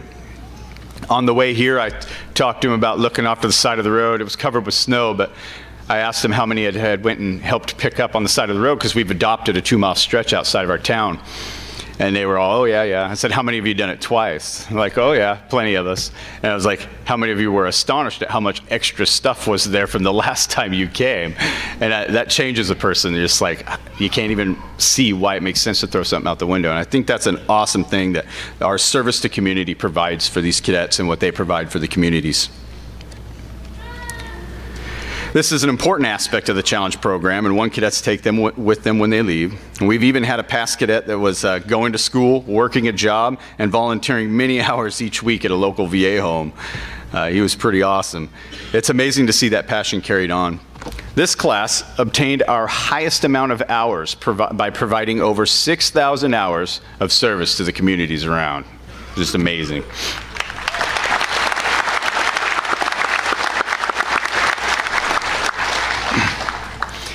As for their accomplishments, there are many. I just speak about a few. But you should all be proud of your cadets. They completed something that many of their peers lacked the fortitude to even attempt. And here they are. I know I am proud of each and every cadet alike, every single one of them. They did not come out of the fire unscathed, but yet have changes in their life to show for it. They have earned the break they are about to enjoy this Christmas and New Year's. But don't let them forget that after New Year's, it's time to saddle back up, get back to life, working hard and creating more moments where they can enjoy the fruits of their labors. Now, I talked with the cadets already last night, probably saved you all at least 25 minutes. But uh, so we already had a talk about uh, working hard for what you get. It's all right, all right to get help, but wanting to be the major contributor in that, right? I don't ever want you to forget that. Be somebody who gives back, somebody who's a producer, all right? And never settle for that scapegoat in life that's out there. There's many of them, and it's so tempting to sit there and say, oh, well, this is the reason I can't succeed. No, you are the only reason. There is always a way. You may have to work harder than the person next to you, but you can still do it, and the chance is there, so keep at that. Now, cadets, are we ready for this? Mouths! Ears! Eyeballs! All right, parents, that tip is free. Use it as, as much as you want. Merry Christmas. With that, how many of you cadets put your hand in the air? A show of hands, not a show of mouths, is what I like to tell them. A show of hands, not a show of mouths, for who has known a cadet who has come here before? Raise your hand. Pretty cool. Put your hand down. Thank you. With that, you have an obligation. You have an obligation to be that cadet for somebody else. We got a couple over here mentoring. I just love those guys. You're awesome. You're awesome. They're doing more than I did at their age, that's for sure. I was just marking time, maybe maybe doing rear march. You have that obligation. You have to do something about it. You have to be that impact in somebody else's life. You have to give back. Right. There's something interesting about challenge because when people hear about it, they say, "Oh, that's a neat idea." Boy, I think that's a pretty cool thing. You know, that impacts people's lives. That's awesome. But when you're touched by it, whether it be some over here that are mentoring, whether it be family, friends, when you're touched by it, it's different. You have a passion and you just can't help everything. You just want to tell everybody about challenge. You want to do everything you can to help. You want to come back and uplift the new cadets. And I want you to to remain in that mindset. So, with that, cadets, I again commend each and every one of you on your hard work and perseverance that placed you here today. Remember, it is the decisions you made and the actions you took in every hour of every day that led to this moment. It is an accumulative concept. A little can add up to a lot over the course of time. And remember this if you keep doing what you've always done, you're always going to get what you've always gotten. It isn't going to change. So stay focused, stay the course. Godspeed.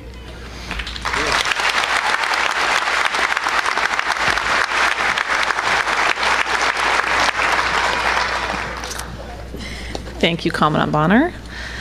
The goals these young men and women are striving to reach would not be possible without their continued improvement academically. Please welcome our principal, Mr. Bickertharian.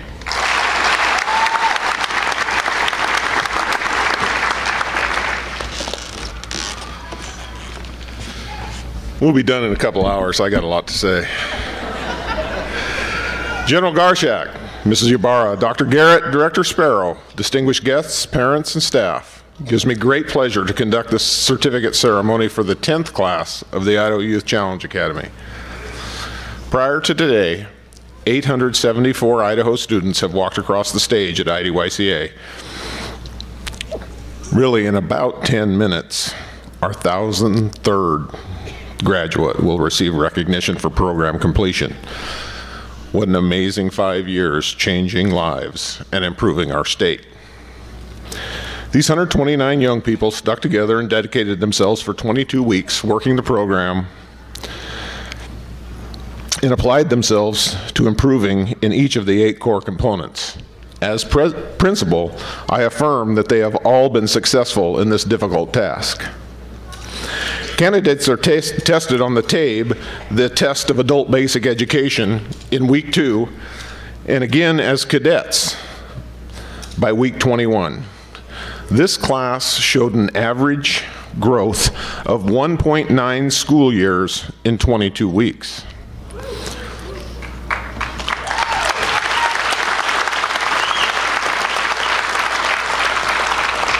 Please keep in mind that a full school year is 36 weeks and we expect one year of growth in 36 weeks. This is almost two years of growth. The average grade equivalency on the pre-test was eighth grade third month, and the post-test it was 10th grade second month. The average GPA on entry was 1.65. Their cumulative GPA now is 2.43. Their GPA for academy courses is 3.31. Over 70% of today's graduates had an accumulative GPA of below 2.0, many of them below 1.0 when they enrolled.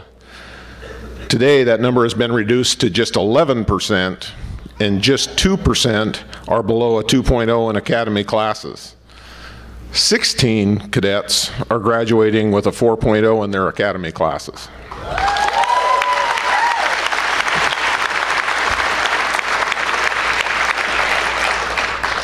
Cadets had an opportunity to earn up to 14 credits on their, in their time on campus. 14 credits is the equivalent is equivalent to a full school year accomplished in 22 weeks. I'm excited to report that of the 1806 credits available, 1800 were earned.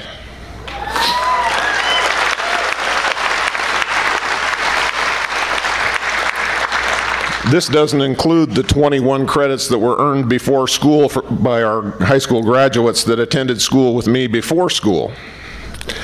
In addition to completing the rigorous residential program, we have 17 cadets earning their high school diplomas today and 18 more that earned their GED while they were at the academy.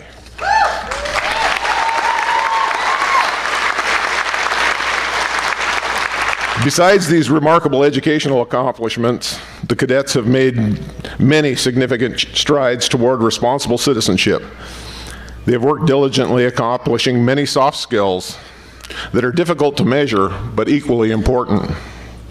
They registered to vote, registered for the selective service, participated in a stressful mock interview process, and many have secured employment, college acceptance. They are physically fit and ready for their future. Initially, we thought we were going to have another speaker, so we were to cut our speeches short. Luckily, we had one cancel, so I got to write a little bit more in here. As I pondered the words of advice I would offer the cadets of 18 TAC 2, I remembered June of 1977. I was a soon to be 16 year old, and I was attending Cougar Cage Camp at WSU. George Raveling was the coach at the time, and he gave a motivational speech to campers. And that speech has influenced me for 42 years.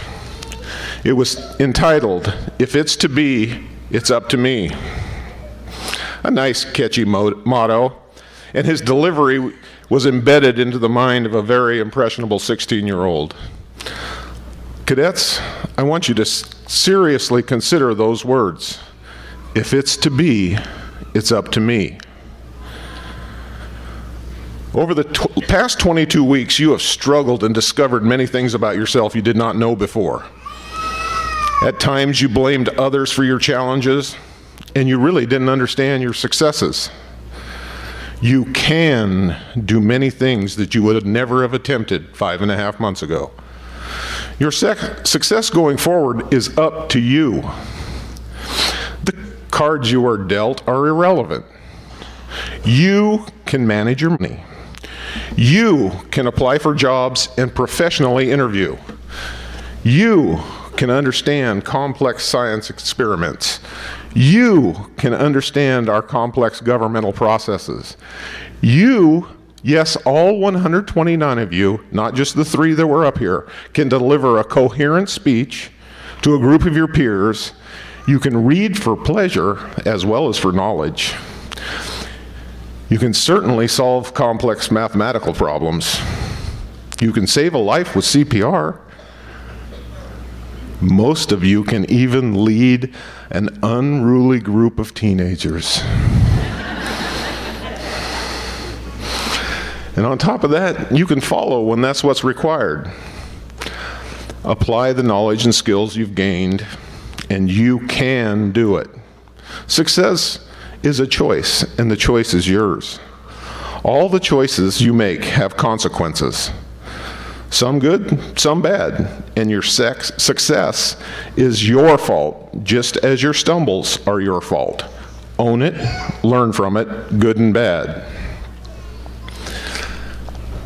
Cadets, if you get eight hours of sleep, exercise regularly, eat right, abstain from harmful behaviors, show up and do the work, there's nothing you cannot accomplish.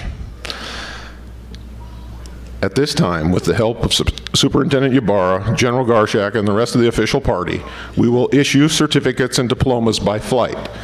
Please hold your applause and cheering until the entire flight has been recognized.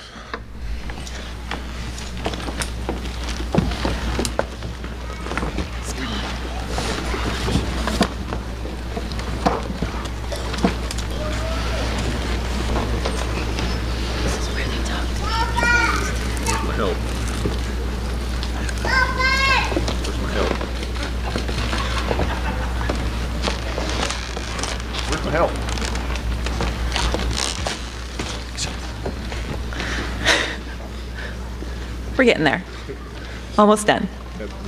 Yeah. From the Mountain Gems flight, receiving her GED, Summer Adair.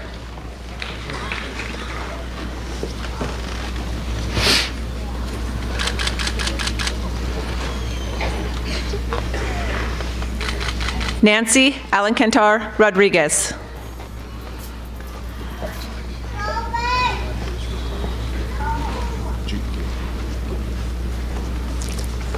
Receiving her GED, Jasmine Anderson.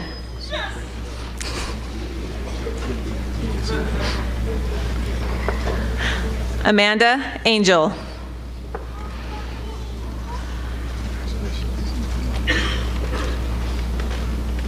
Leandra Bell.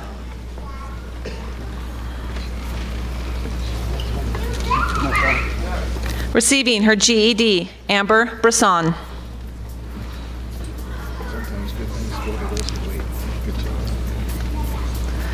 Samantha Bronco.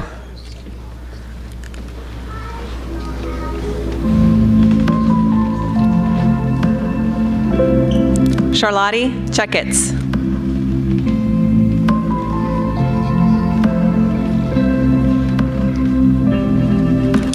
Jocelyn Go Fisk. tell the world that I ain't ashamed how I came from nothing. But like a seed planted in concrete, I became something. I rose up. Nancy Flores. Generation gon' rise up, yeah. So tell the world that all time, say all time is right now. No more locked in prisons, no Mackenzie Young father Gallegos. committed, gotta stay focused when it's God given. See the talents is God given, gotta use it right when God give it. This God flow, gotta Noelia Gonzalez.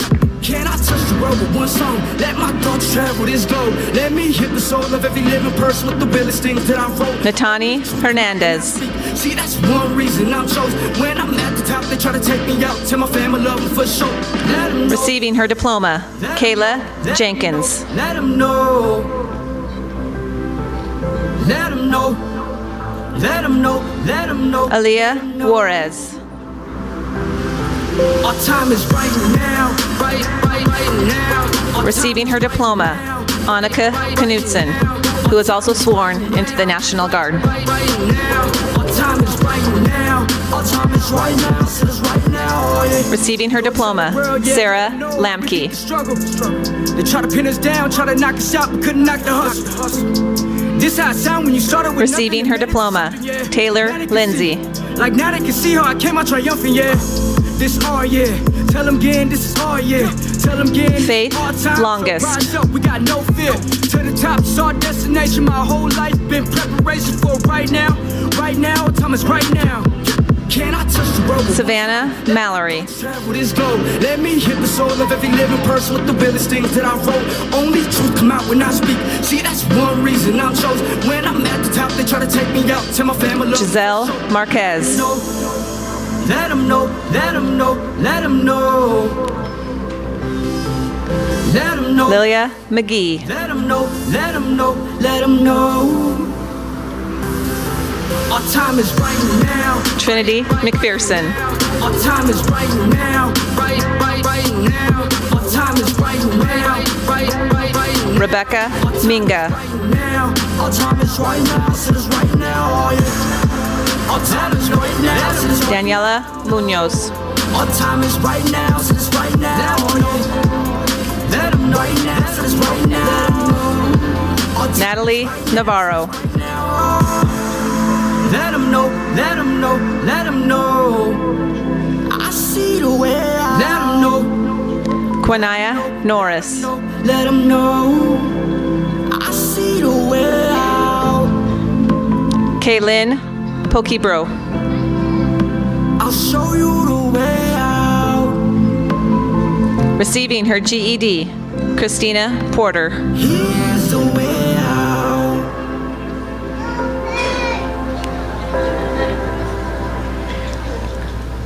Charisma Ramirez.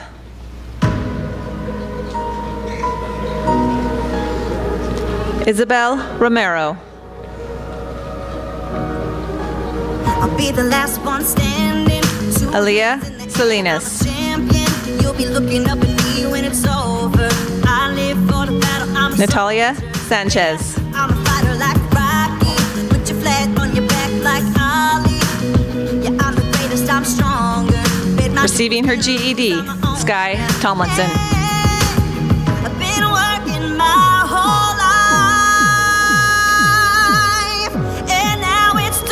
Miracle Ubens.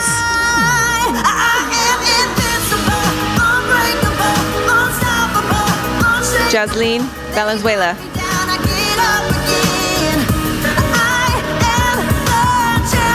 Vanessa Velasco.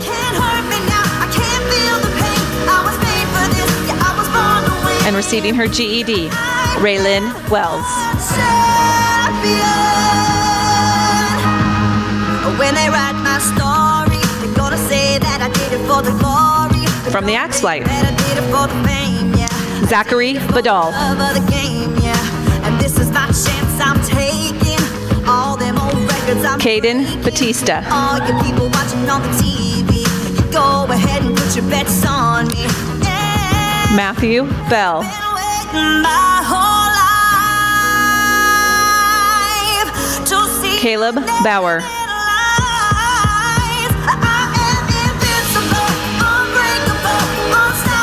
James Buster.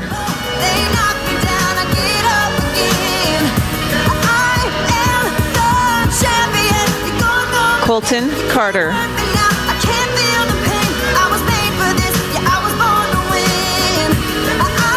Jaden Davies.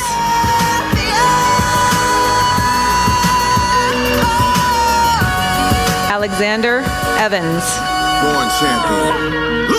The C is for the courage I possess through the drama. H is Elias for Green. for the honor. A is for my attitude, working through the patience. Money comes and goes, so the M is for motivation. Seth Gotta stay Gress. The P is to persevere. The I is for integrity, innovative career. The O is optimistic. Dakota Hall. And the N is necessary, cause I'm never giving up. See, they ask me how I did it, I just did it from the heart. Crushing the competition. Jonathan Harmon.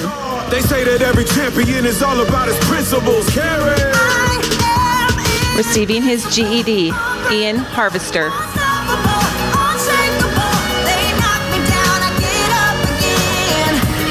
Receiving his GED, Jordan Henson.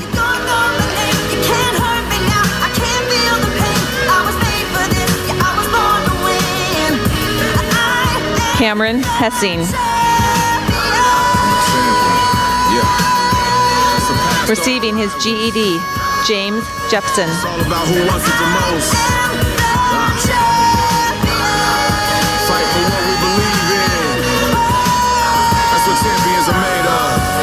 Daryl Callisto.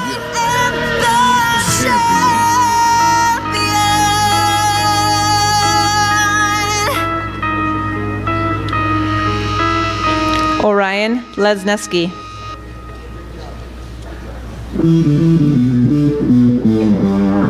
Gabriel Lewis.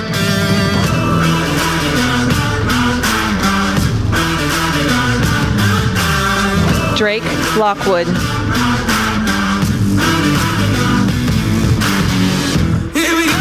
Giovanni Lopez. Now we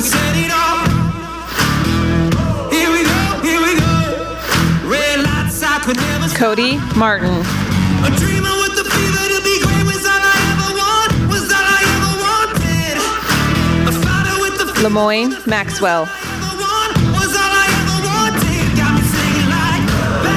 Jace May.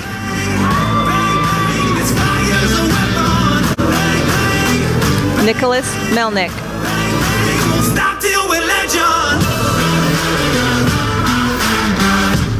Siobhan Mitchell.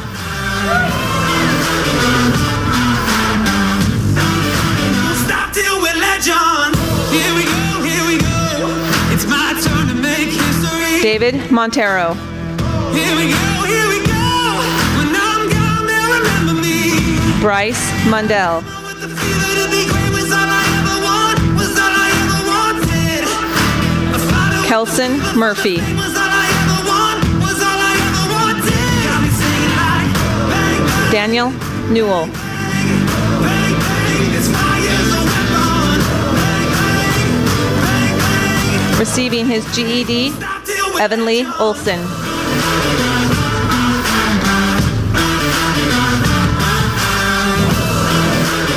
Ty Penny.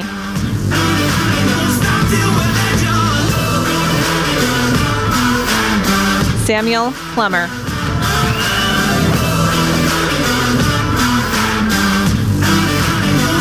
James Purvis. Blood, sweat, our break my bones. Till all my scars bleed golden. Chris Rendo. Blood, sweat, I'll break my Gabriel Rout. Till all my scars bleed golden. My name's forever known. Ricardo Sanchez.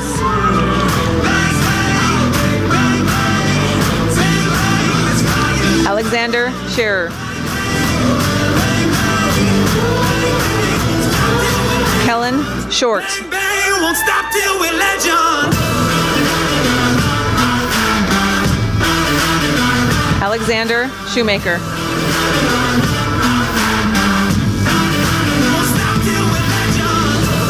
Colin Smith.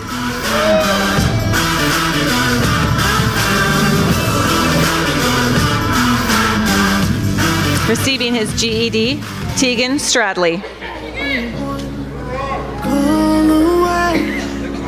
I'll be there to save Jeffrey Tennyson. day. Superman got nothing. Receiving his diploma, Raiden Veneman. Only one call away. Riley Ward. Call me, baby, if you need a friend. Receiving his GED, Sean Warren. To you, so take a chance. Conrad Willems. No where you go, no, you're not alone. I'm only one. Travis Williams. I'll be there to save the day. Superman got nothing. From the Scout Flight, Cameron Benson.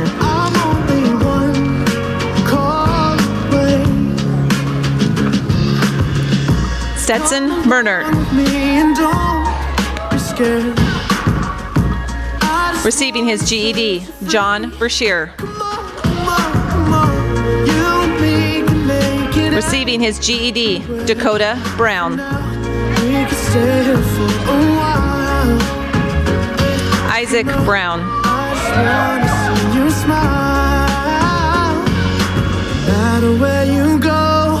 Receiving his diploma, Jason Bushin.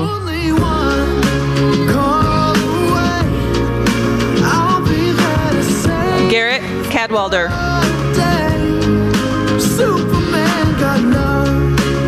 Aaron Chastain.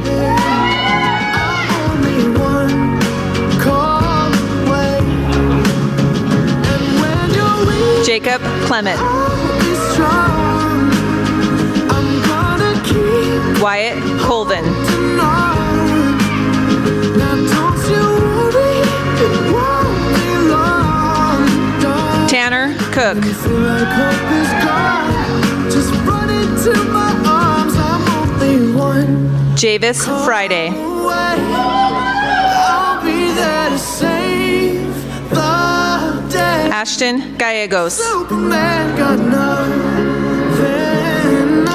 Zach Gardner. I'm only one.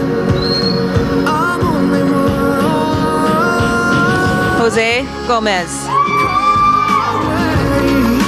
I'll be there to save. Receiving his GED, Andrew Howie. Superman got nothing on me. I'm only one call Cole Johnson, who is sworn into the National Idaho Guard. Spencer Kimbrough.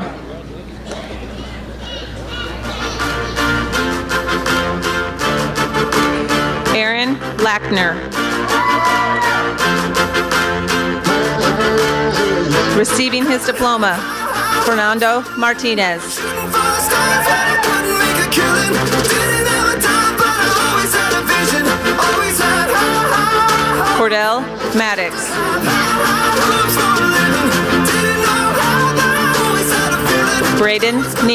High hopes. Mama said, Receiving his diploma, Levon Nisby. Back in the days, we wanted everything, wanted everything. Receiving his diploma, Porter O'Neill. Rewrite your history, light up your wildest dreams, museum victories. Every day we wanted everything, wanted everything. Mama said, Receiving his diploma, Quentin Payne. all tied up, no more love, and I'd hate to see you waiting. Receiving his diploma, Isaac Presswich.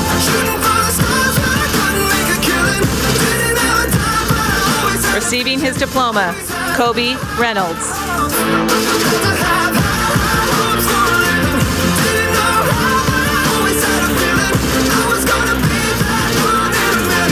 Jaden Ruiz.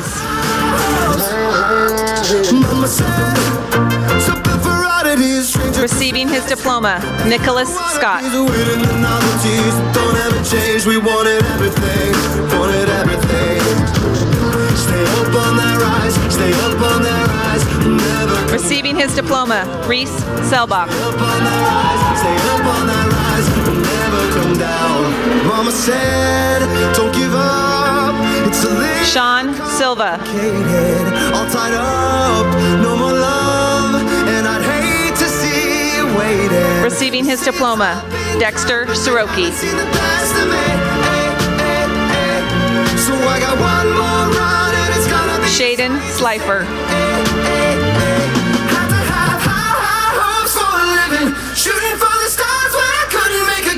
Receiving his GED, Jalen Small.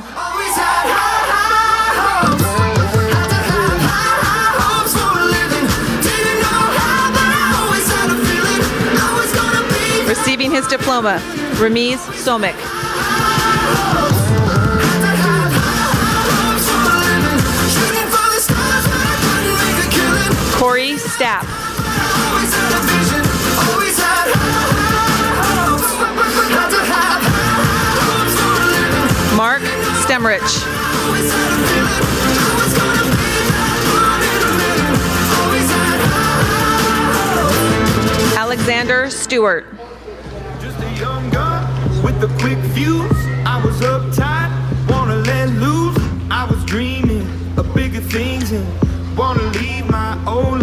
Receiving his GED, Jeremy Terry. Fit the box, fit the have a seat in the foyer.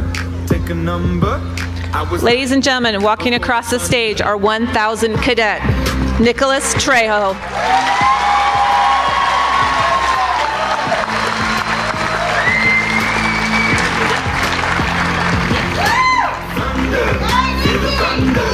Receiving his diploma, Jayton Vandeviver, Vandeviver, and he's also sworn into the National um, Idaho National Guard.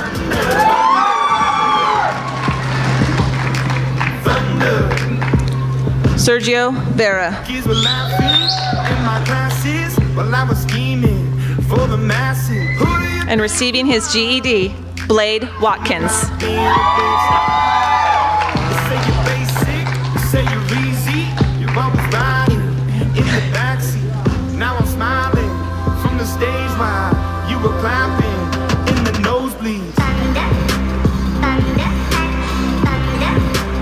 Long receiving line.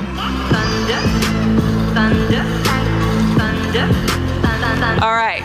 Yeah, let's give a big round of applause.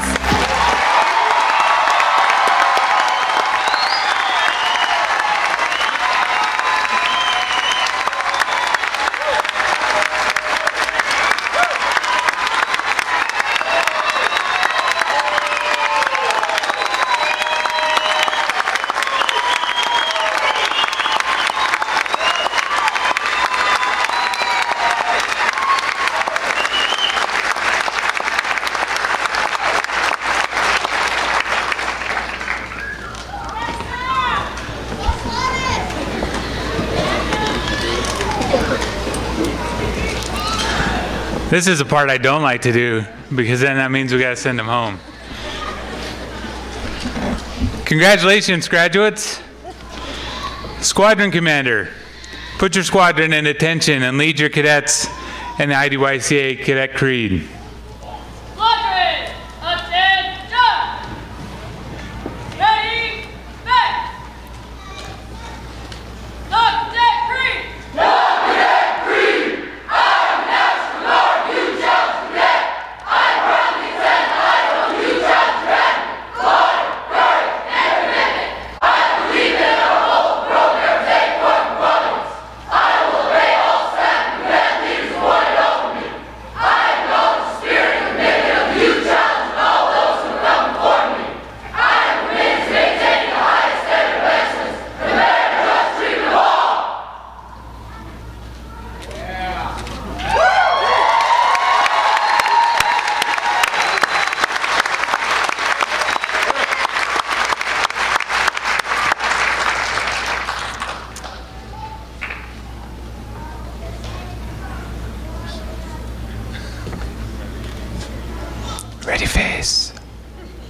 Squadron Commander.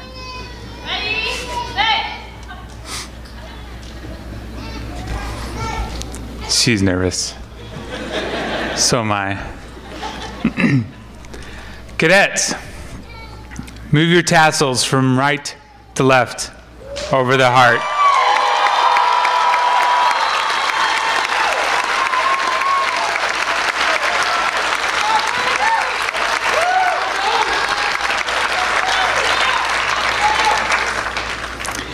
Brigadier General Garshak, distinguished guests, ladies and gentlemen, I present to you from Class 18 TAC 2, the 10th graduating class of the Idaho Youth Challenge Academy.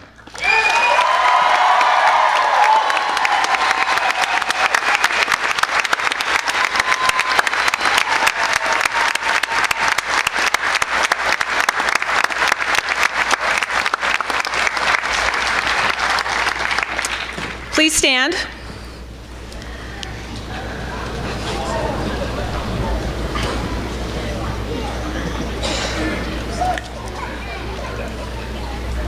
She missed her cue, but that's okay. She's coming up here really quickly. It is now my privilege to introduce Cadet Staff Sergeant Valenzuela, who will deliver the benediction. Let us pray. Dear Heavenly Father, I want to thank you for showing each one of us cadets about this program and giving us the strength and motivation to finish strong. We are all now leaving a place which for five months we called home. Today we stand before you, God, asking to continue on the path which you have chosen not only for those around us, but for ourselves. Help the class of 18 TAC 2 stay true to our commitments and goals for the future. Give us the strength to look temptation in the face and say no. I pray that as we depart from this journey, that you guide us through the tough decisions. I ask that in our darkest times, you remind us what we learned in these last five months. In Jesus' name we pray. Amen.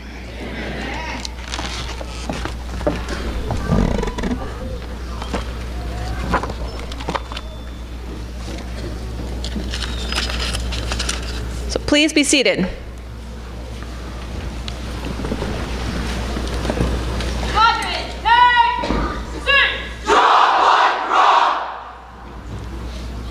We are almost done, I promise. Final words. Graduates, more than six months ago, you met one of our missions counselors, and you were offered the opportunity to take charge of your own life. Today, we assign you the responsibility of offering the same opportunity to young men and women that are now as you were six months ago. Please share your journey with your friends and encourage them to make the choice that you did.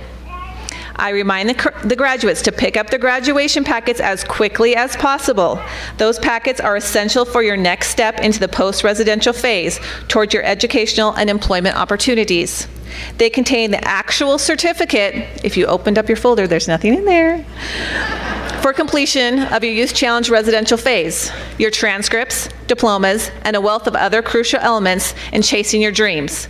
Please also do not leave without collecting any, any medications you brought with you. Following your final dismissal, there will be a brief 10 to 15 minute photo opportunity with your families in the adjoining room and hallway, which is over here, which is the cafeteria families. So they've been instructed to leave their cap and gown on so you can get that final picture with them. Um, please save any further visiting until after you find your way quickly to the back room to turn in your caps and gowns and collect your gear with those vital graduation packets. Staff will depart with or without you having checked in no later than 1500. So, cadets, your final dismissal. Our program director, Mr. Harv Nelson, has some final words to dismiss the cadets.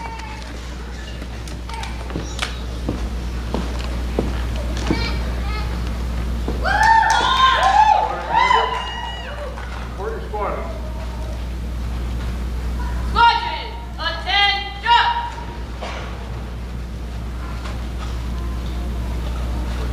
Our 29 cadets assigned, our 29 cadets graduate. Cadets, today is the day. This is the hour. Are of your future?